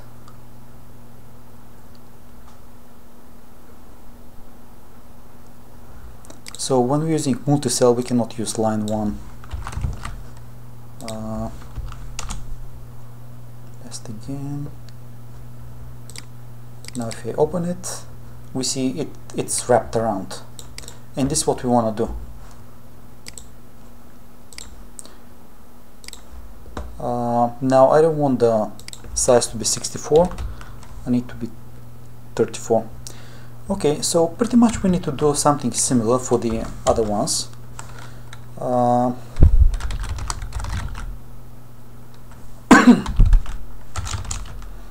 get author. What was it? Authors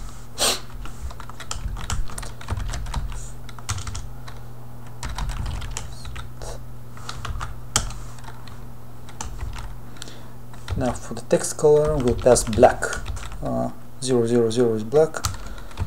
If set font family Helvetica. Uh, for the style again it will be black. And the size will be 14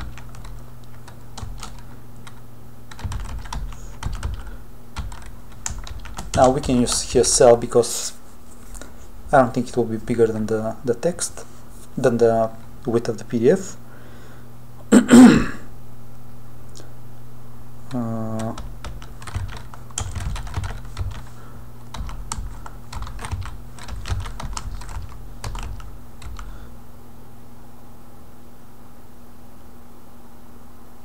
height actually 50 txt I will prepend it by writing by and then append the term get authors.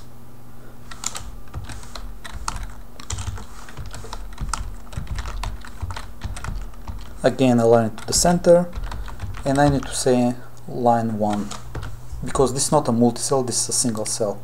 We need to add this parameter. So the cursor can move to the next one. Uh, okay elif item get intro. Let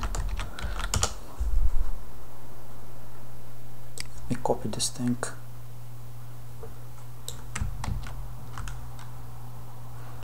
Actually the intro can be bigger so I'll copy this one.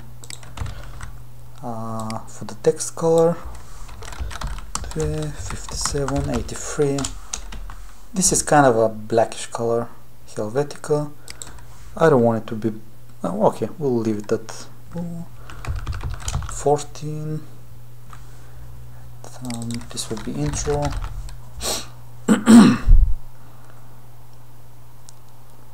Uh, let's make it 500 I don't want to to to get the whole width of the page. I want to be 500 so it's kinda in the center. You guys will see it in a, in a minute okay this is the multi-cell uh, if it's a paragraph.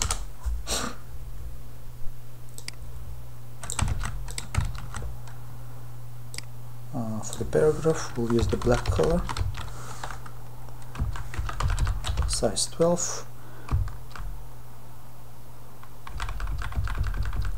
and no styles. So this will use the default Helvetica style. It's not bold.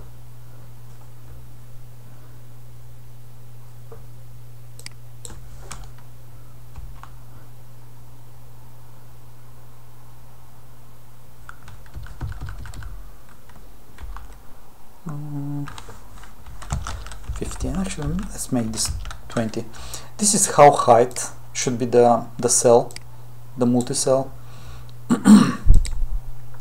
And you guys can experiment if you want to. I just uh, want to place it like that. Okay um, let me do one for the H3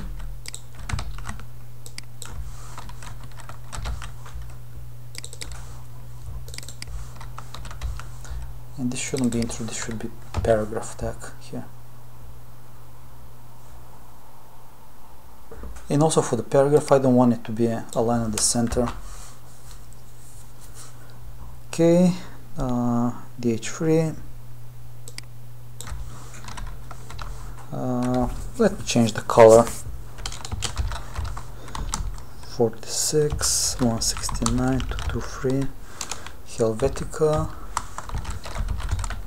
style B size 12 with 0 height uh, 15 get item H.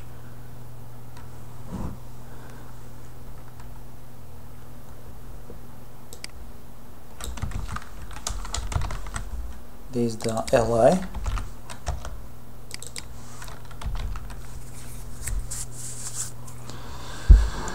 the li uh, will make it yeah.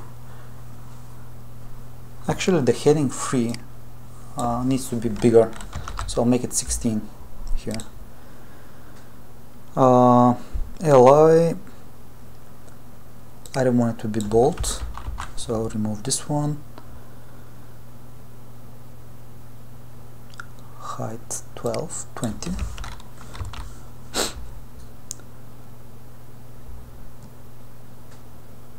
I'm sorry. 15 get item li now before the li I want to put a dot. So here you guys see that there's a dot for the and I want to mark it as an li so in order to add a dot uh, we're going to use this uni Unicode character. Uh, 2022 this will create a dot. But not a dot as a full stop but dot as a list item dot. Now uh, one thing I also want to do is uh, after the intro here I want to add an empty line.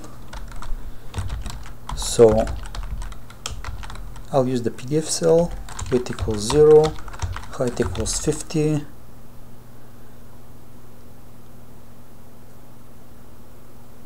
uh, that's too much. Height equals 20 txt is an empty. And line equals 1 uh, let me add an empty line after the paragraph. After the h3 and after the li okay we wrote a lot of stuff so let me see if everything is working correctly. Okay. So if I open it. Okay brief history. So I want this thing to be centered uh, okay uh, the text looks okay.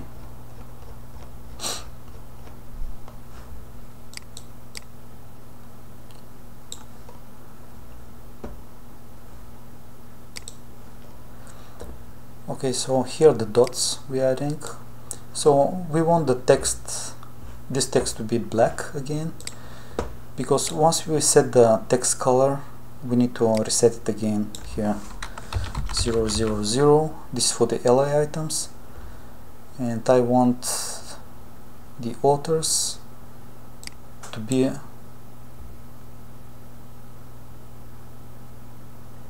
uh, hmm set font. I gave it a line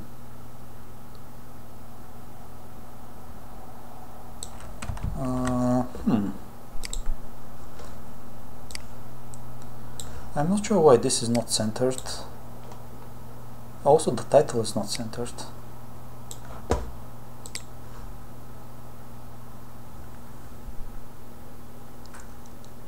Oh okay. It should be capital C. Uh, the intro also. And actually these heading threes I don't want them to be centered. Li also don't want them to be centered. Okay let me close the this one and run it again.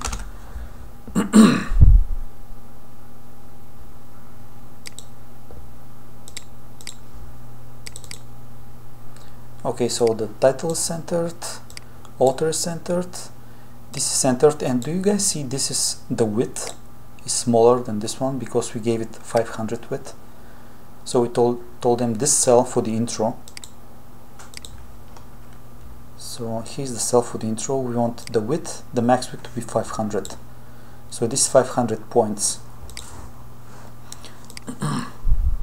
So it's not getting all the width of the all the width of the of, of the other text okay so here the heading threes all the paragraphs and here are the list items. So the last thing we need to do is we need to add the images. And uh, now for the images we'll get it's gonna get a little bit uh, it's not that hard. If I don't get img mm. so in order to add the images first of all we need to uh, get the image name from the now this function has already downloaded the images so I need to get the images and in order to get the images I need to know which image is which so I need to get I need to get the name of the image. Uh, so again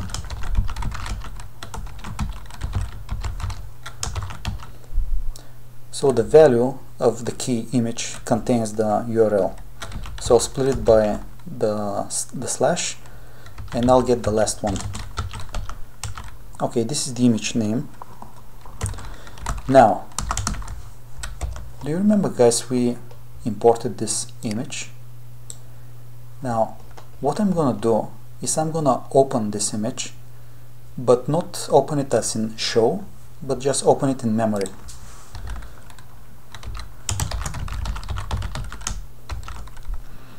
Now I need to grab the image from the images folder. So I need to join the images folder this folder the images folder with the image name. So again I'll use os path join and I'll give it the folder name and the image name. So this will open the image this image.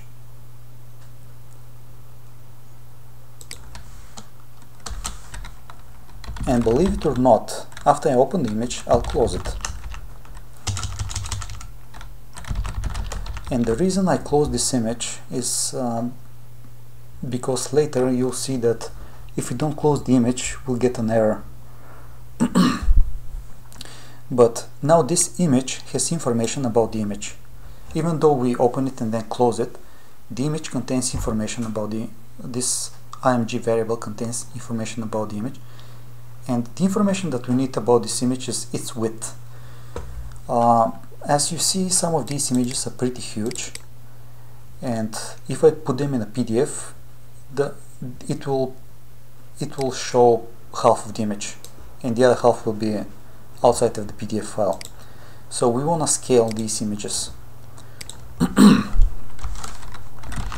Now I'm gonna get the image width and what I'm gonna do is I'm gonna check uh, if image width is less than 400 return the image width. Else return 400 so if the image is less than 400 for example if it's 300 pix pixels return 300 but if the image is bigger than 400 return 400 we, we want the maximum image to be 400 so it can fit nicely inside of our PDF file. And that's why we use this uh, image open because when we open the image we're gonna get information about its width, its size, its format and a whole lot of stuff. But currently we need only the image width. And when I get the image width like I, I want to make sure that the image width is the maximum image is image width is 400 pixels. Okay uh, and then when we are adding images inside of uh, PDF files we need to give it the the X position and by default the X position is uh, let me open this link. So let's say you wanna add an image and if you don't specify the X position it will start from here. So from the left border and uh, we want to pretty much um, put the images in the center. So in order to put, put the image in the center I know the width of the image. I need to know the uh, the W will give us the width of the PDF and if I subtract the image width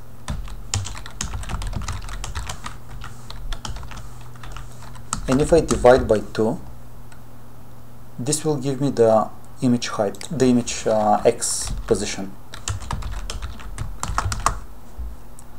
So I'm getting the the width of the document. I subtract the image width and I divide by 2 because on both sides of the image there should be a margin. So the image X will tell me the position where I need to start putting the image. And then to add the image to the PDF we call the PDF, PDF.image function. And uh, we need to pass the full path to the image. And uh, pretty much we need to pass this thing.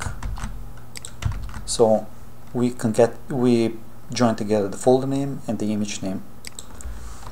And then the next parameter is the width of the image we already have the image width and the x is the image x.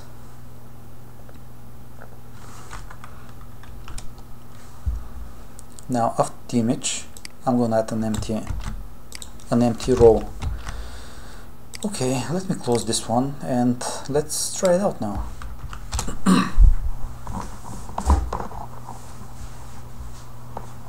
Okay so here's the first image. And this image was definitely more than 400 pixel but we scaled down to 400 pixels. And it's in the center because we uh, the PDF size the PDF width we subtracted from the PDF width the size of the image divided by 2 so they're like these two. And we get this coordinate. So this is the coordinate that we got here. It the x coordinate says starts from from this position. And there's the second one third one.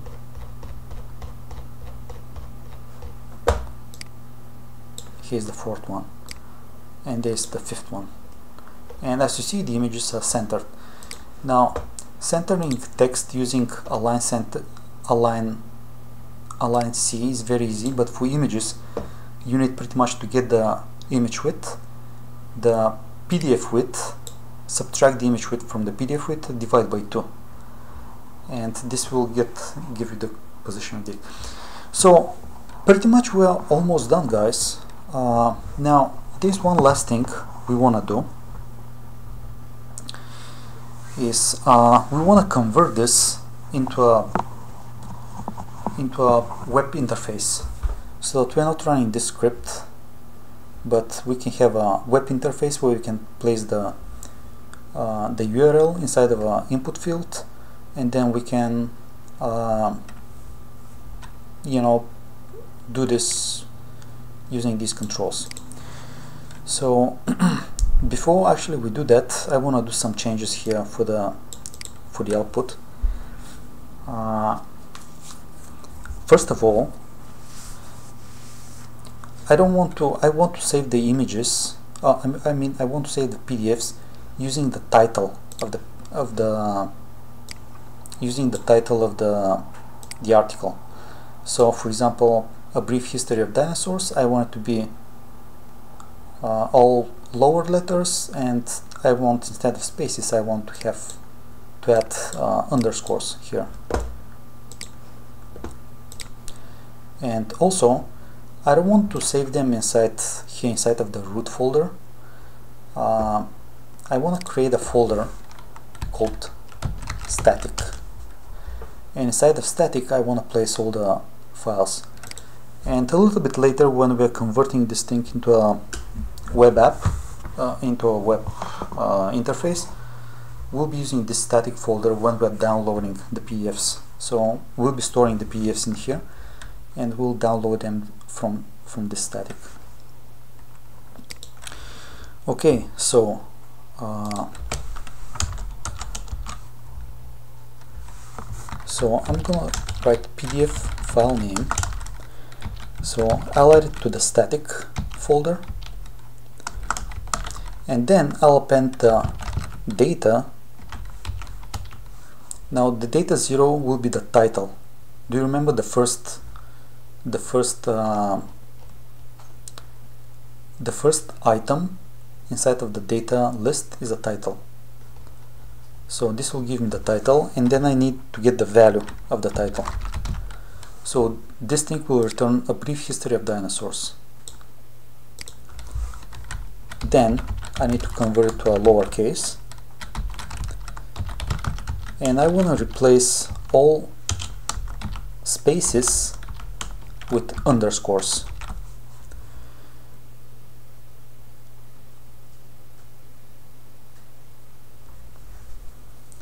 Uh, and I'm checking my notes right now. Uh, you know what guys, some of these some of these titles have like uh, punctuation marks like question marks and uh, when we convert them uh, uh, there's some encoding issue and they're encoded as uh, not like like punctuation marks but like uh, some weird symbols. So we want to also run replace. And if you have a question mark because some articles have these question marks in the title we want to remove them okay. So this is the title. We're cleaning the title. And of course we need to add .pdf at the end. Uh, maybe that looks kinda ugly but it is what it is for the time being. And then we're gonna call this PDF file name now another thing I want to do is after I create the file name uh, after I create the PDF inside of this static folder I want to delete the images folder because I don't want to be storing because some of these images are pretty big. I don't want to be storing them. And if you want to store them you can just leave them but I will delete images folder and there's a very easy way to remove uh, folders using Python using this shutil uh, module. So all you have to do is shutil rmtree and pass the folder name. So fol folder name is images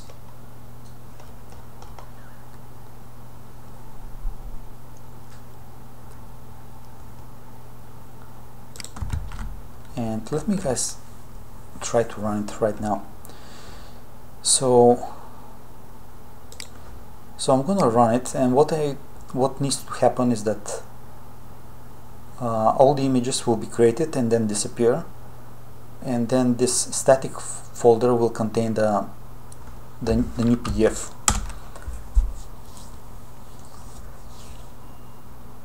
okay did you see guys how the image folder disappeared so if I go to static I'll see a brief history of dinosaurs and when I open it you know it's pretty much the same thing.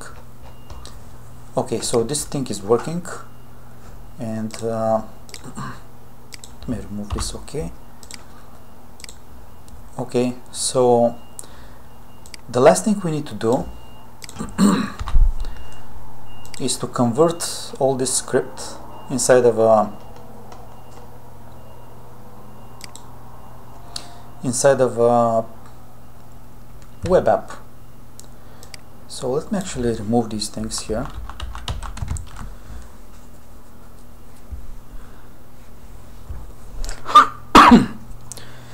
Okay so how do we use Flask to create web pages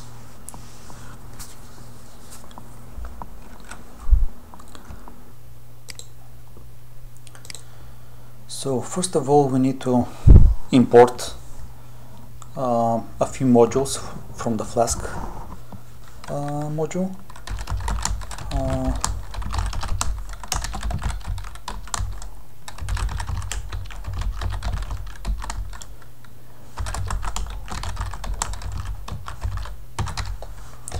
so we we're importing these functions because we'll be using them from the Flask module. Uh, one of the functions that we import is request which is different from this requests. So we use this to make uh, uh, we use this to make requests for URLs and this is inside the flask. And uh, we'll see when we use this thing. Now uh, the first thing we want to do is we want to create an app a flask app.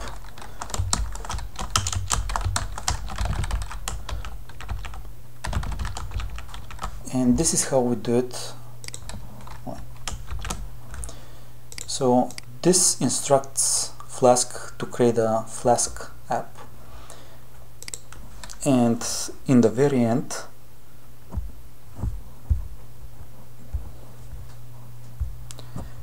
and in the very end we're gonna add the following code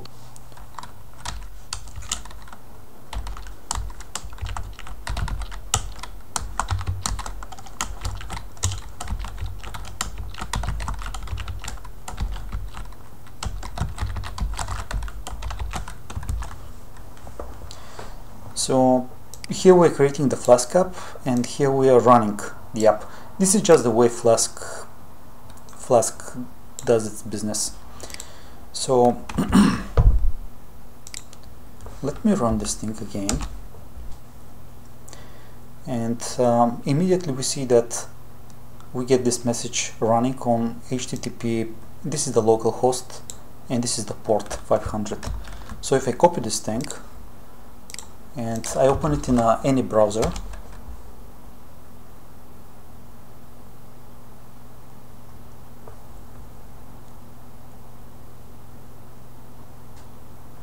uh,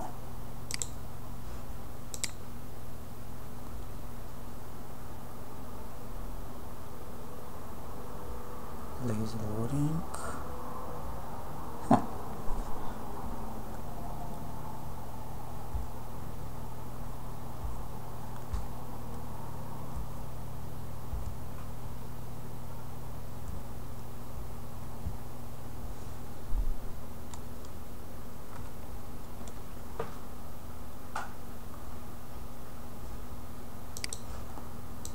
Uh, I think actually we need to give it a, a route.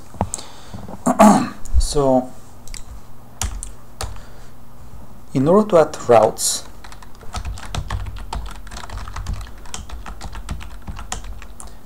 we we set the routes here using this this command add app.route and we pass the route. So this is the the home route, the home URL, and then we need to say at this at this route do this. So uh, you can call this home. And let's return hello. Now if we refresh it's still nothing. Debug mode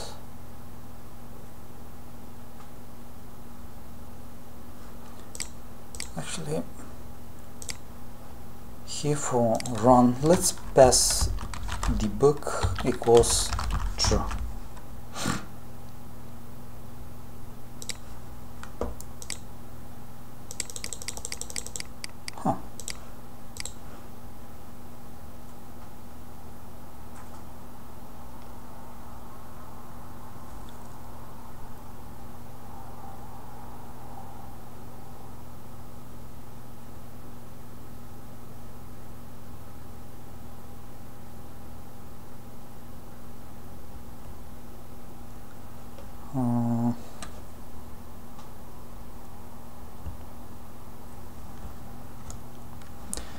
okay guys so for some reason I, I just restarted the server. So control C will stop the server. And then if you run it again and then we have the hello. I, I don't know what happened. Maybe something didn't load or something. But uh, anyway so let me just explain it again. Uh, this line creates our app this runs our app and this we're telling it if there are any errors show them to us. And uh, here we're creating different routes. So uh, let's say I create another route uh, and uh, this is not a Flask tutorial so actually let's not go there. But uh, pretty much in our Flask app we want to have two routes. One is the home route and the other one is when we are getting the data for the article. So the first one will be the home route. And instead of returning text like that we're actually going to return a template. And uh, templates are very uh, very much used for from for, for Flask. And in order to get these templates uh, we actually need to create them first. Uh, so in this folder here in, in the in the root we're going to create a folder called templates. And this is the way how you need to call them. This this is the way how you how you do that. And uh, inside of the templates we're gonna create two files. Index.html I mean files not uh, index HTML and we're gonna create another one called article HTML so let me load this. And uh,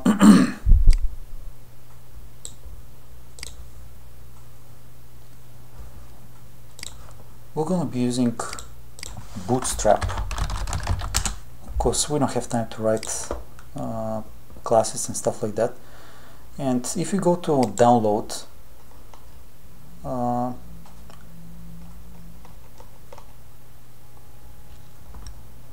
compiled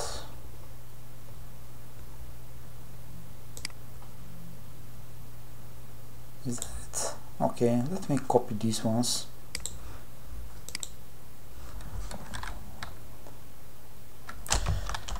So we're gonna create a basic template here. And this is the standard stuff for web websites. So I will copy paste these links. And actually we don't need a I don't believe we need a script. We just need this CDN link for the bootstrap styles. Let me call it scrape here. Okay so this is the index page. Now I'll go to components go to navbar and I will copy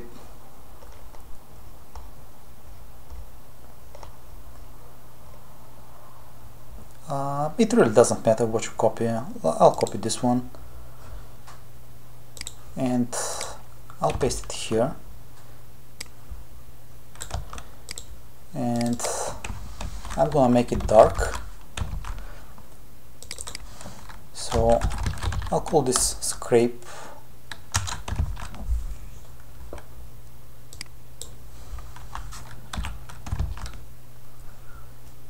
Uh,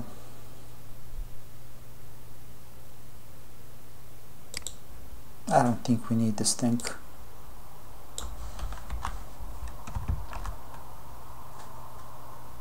I don't even think we need the, the download the button. Actually in order to call this template so this index.html is part of the template folder. Here instead of returning a string uh, we're gonna return render template and it's already imported from the flask module render template. And we're gonna render the index HTML so if I refresh this page now we have now we have this uh, uh, this navbar over here. And actually I, let me just add this here. At the navbar again. Uh, so this is the home page and then for these links over here I'll put a link to Live Science so that we can open it. And not this here. And I'll give it a target blank so this way we can we can easily open the we can easily open the, the site from the from here. Uh, refresh. Okay let me change this to dark. Refresh and I'll change this to scrape. Scraper. Just called scraper. So this will be the home page. And if I click this one it will open the Live Science web page in a in a different tab. Okay. Uh, now one thing we need to add to the to this home page is I want to add a search like a search uh, a search input field here. So I like I like the container. Uh, and I'll center everything in the center. I'll add a row. And these are bootstrap classes and for the margin top I'll add 3 you'll see in a minute what it does. And here I'm gonna put a, a form. So let me come to navbar and forms. And let me just grab a uh,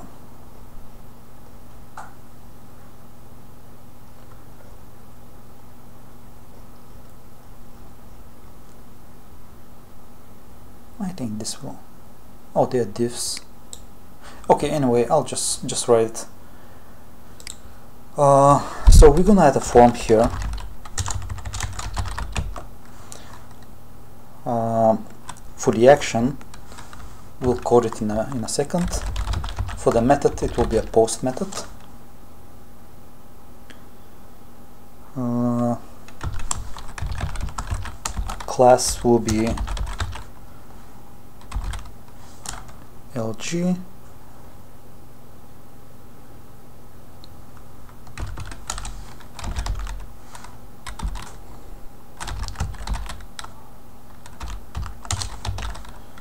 um, is it G3 like that? Okay.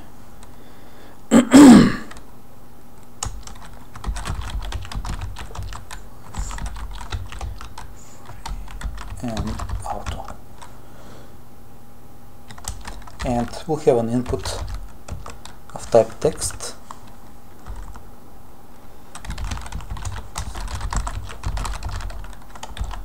Form control URL placeholder enter URL and we want to make this required now what we're doing is we're creating a form. And uh, we're giving it a class of LG which means it will it will be a like span on big devices. These these are um, device classes. For on different devices it will it will look different. And if you have never used bootstrap don't worry about it. You can just copy these classes. Uh, so actually let me show you how it will how it will look so here's the is our form. We have this uh, input field and it's centered in the uh, it's centered in the in the middle using this M auto. And uh, this is our input field. So what we need to do is add a button. Uh,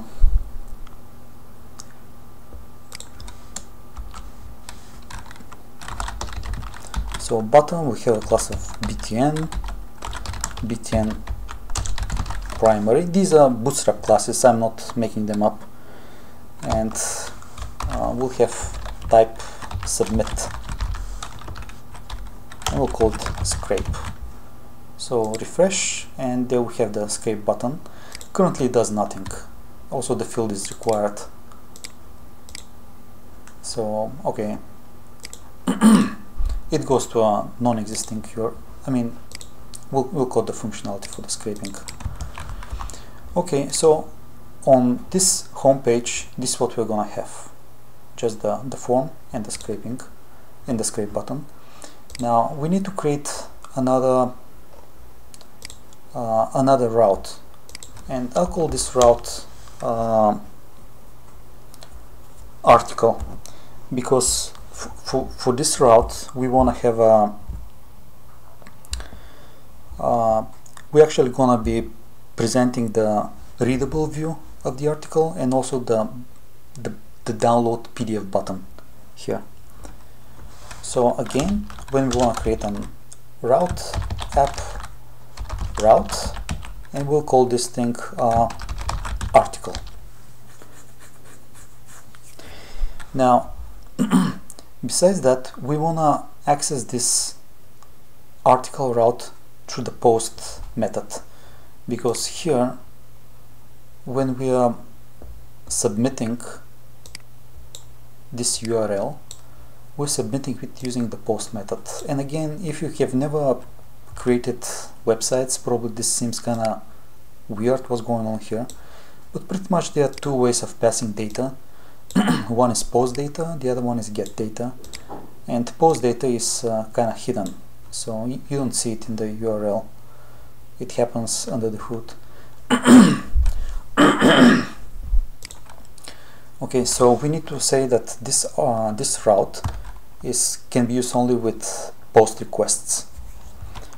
So we need to pass method equals post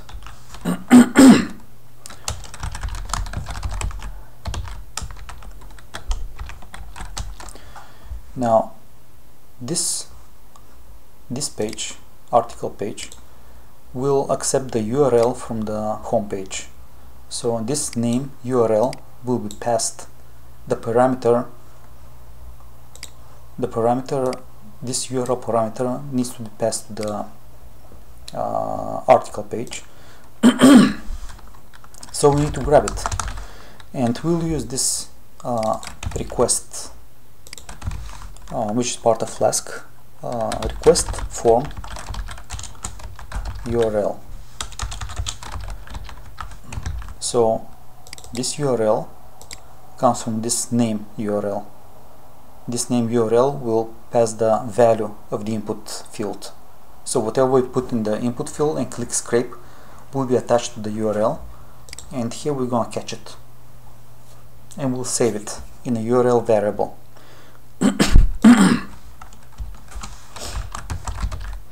now we'll get the result and we'll call the scrape data and pass the URL because this function we have already written it we're passing the URL and we're saving it in that uh, result variable. Then we're going to create the PDF uh, file and we'll pass it the result so on this data that scrape data returns will be saved in result. We'll pass it to the create PDF, which will create a PDF file and it will download the images, create the PDF file inside of the static folder and uh, delete the image folder also. Okay, and the last thing we need to uh, we need to load the template. So in this case we'll call the template called article HTML and also for that we want to pass the result. Because we'll be using this uh, we'll be using this data from the result inside of the article. And we also need to pass the PDF file name. So let me copy everything from the index and paste it in the article and uh, here we don't need this thing. So we want this we want the navbar and then here we need to write the the markup for the article page. So we'll be passing the result and the PDF file name. So let's start actually with the with the result first.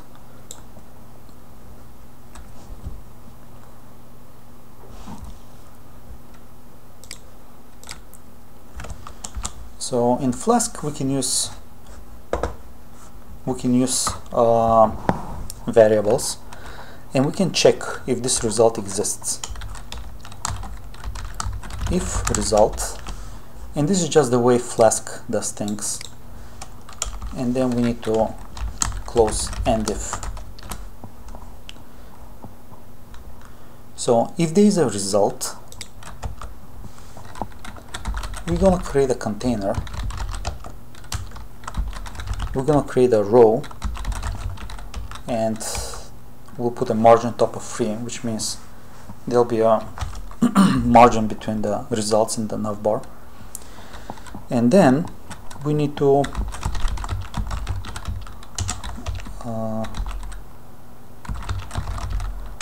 we need to present a readable version of this of, of this uh, data that's stored in the result variable. And then we need to use check uh, what kind of data we're getting. So if item oh wait a minute.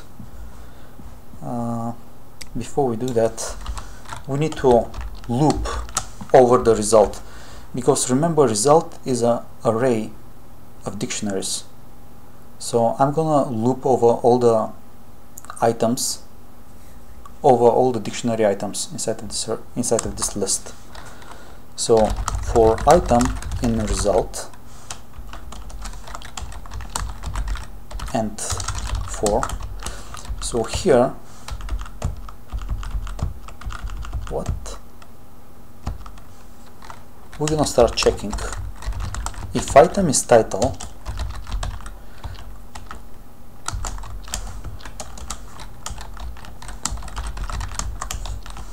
if item is title I need to put it in, inside of a he heading 1 and then to get the value I need to put these uh, curly braces. And for the heading 1 I, I want to add some bootstrap classes like uh, text center. Let me copy this thing if item then is the authors.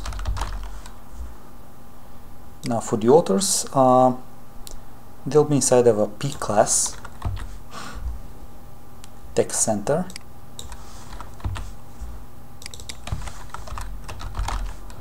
Okay. Then I have the intro.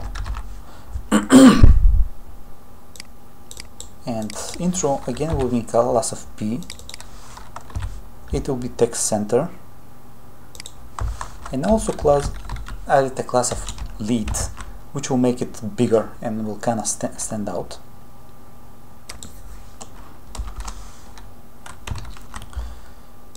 If item is a paragraph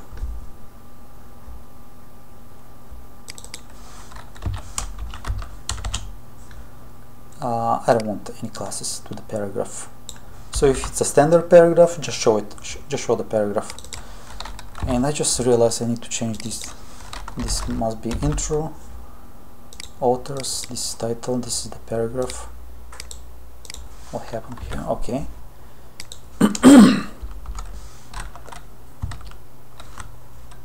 Okay. If it's uh, heading 3 this needs to be heading 3 heading 3 uh, class is uh, no I'm not gonna center it.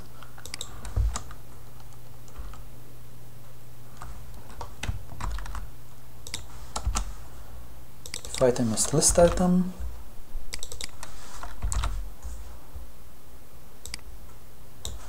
Shall we I'll put it inside of UL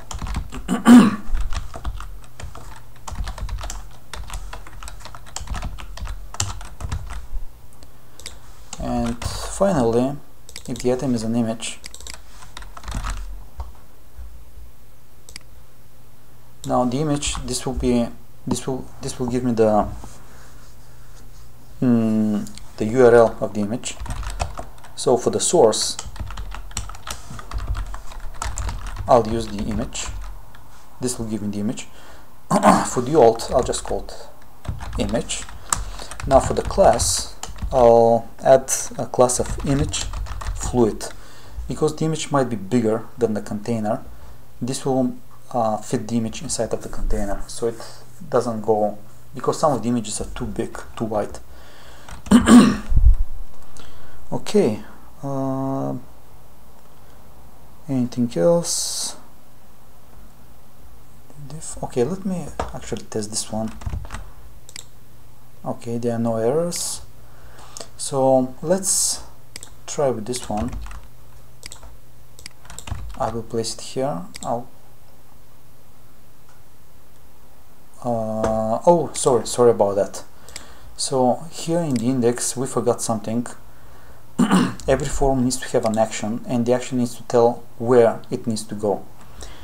Uh, now in order to uh, we need to send it to the to the article URL and in order to do that we're going to use something called uh, URL for this is a flask function which will get the URL of the uh, of the following parameter so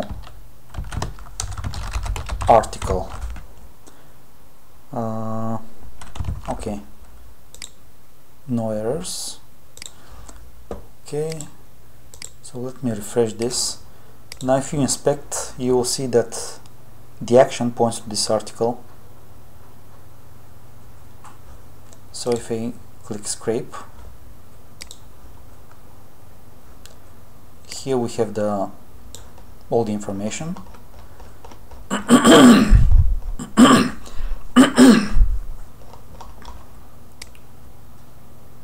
All the information. And actually if you check the yeah we're scripting the same one. So we have now the last thing we need to do is we need to add a download uh, PDF download button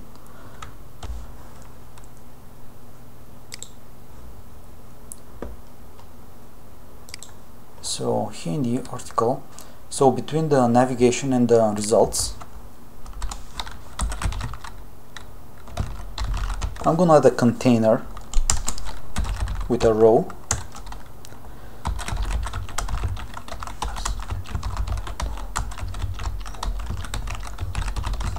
These are bootstrap classes that will just look at uh, show the, the download button in, in the center of the page now the link will say uh, download PDF now for the href uh, the PDFs will be in this static folder and this will be the name of the PDF file. And the name of the PDF file is passed here. So when we are rendering the template article template we're passing the PDF file. So I already have this file I, I already have the name of this file. So here for the href again I'll use the URL for function. I'll say go to the static folder. And uh, for the file name I'll give it PDF file name because this parameter is passed to the is passed to the uh, is passed from the route. Now I'll also going to get add a class of btn btn success. And last but not least I'll add uh, this download attribute which tells tells the browser what is the preferred name so for the preferred name I'll use the this PDF file name that I already passed okay and let me try it out now. Uh, his history of dinosaurs scrape.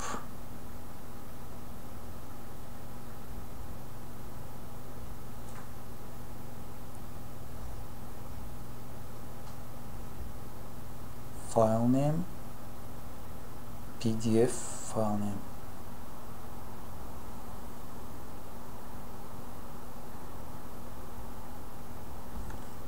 Uh,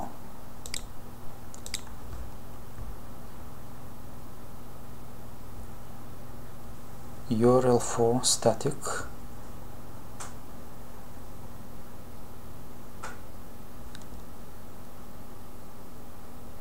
uh,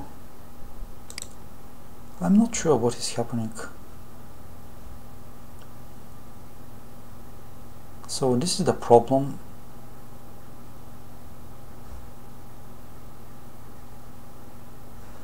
Okay let me check if these are correctly set. Pdf file name pdf file name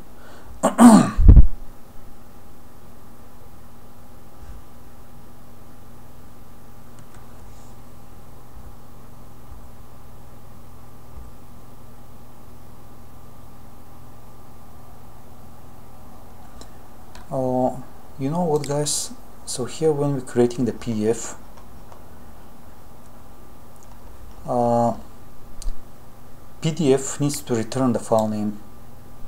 And currently our function doesn't return the file name.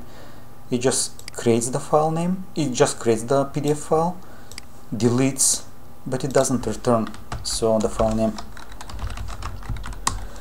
Uh,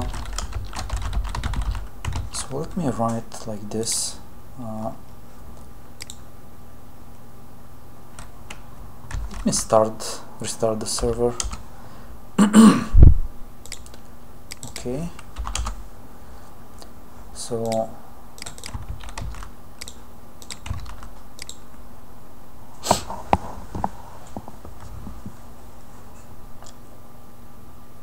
okay I, I made a mistake here.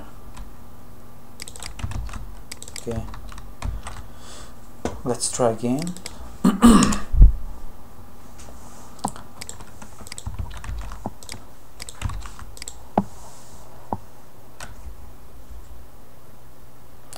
okay so we have the the article. Everything looks fine. Images titles whatever. Now there's this and I already see that it's pointing to static slash static. So it cannot download it because it's pointing to static static. Uh,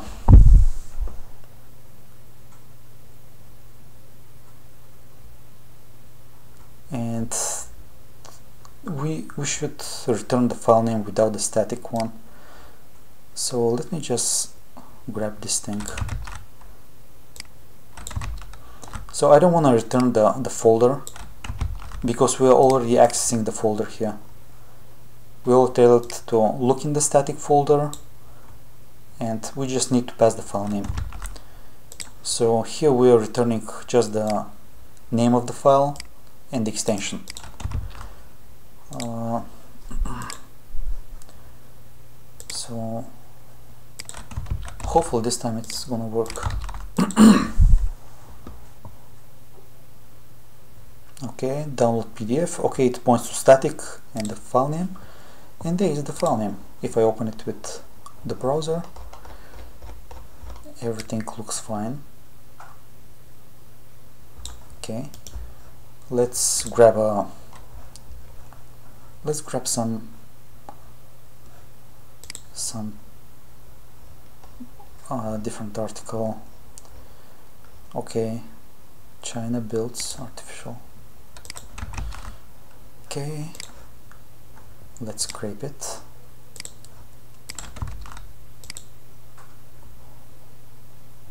Okay here the images. Okay it's a short article short article. Now you see this related content. It's not here. We don't have this related content. Now let's download it as PDF. Open it. And there it is China. If I check my uh, static folder I can see China builds. I can have the, the same article here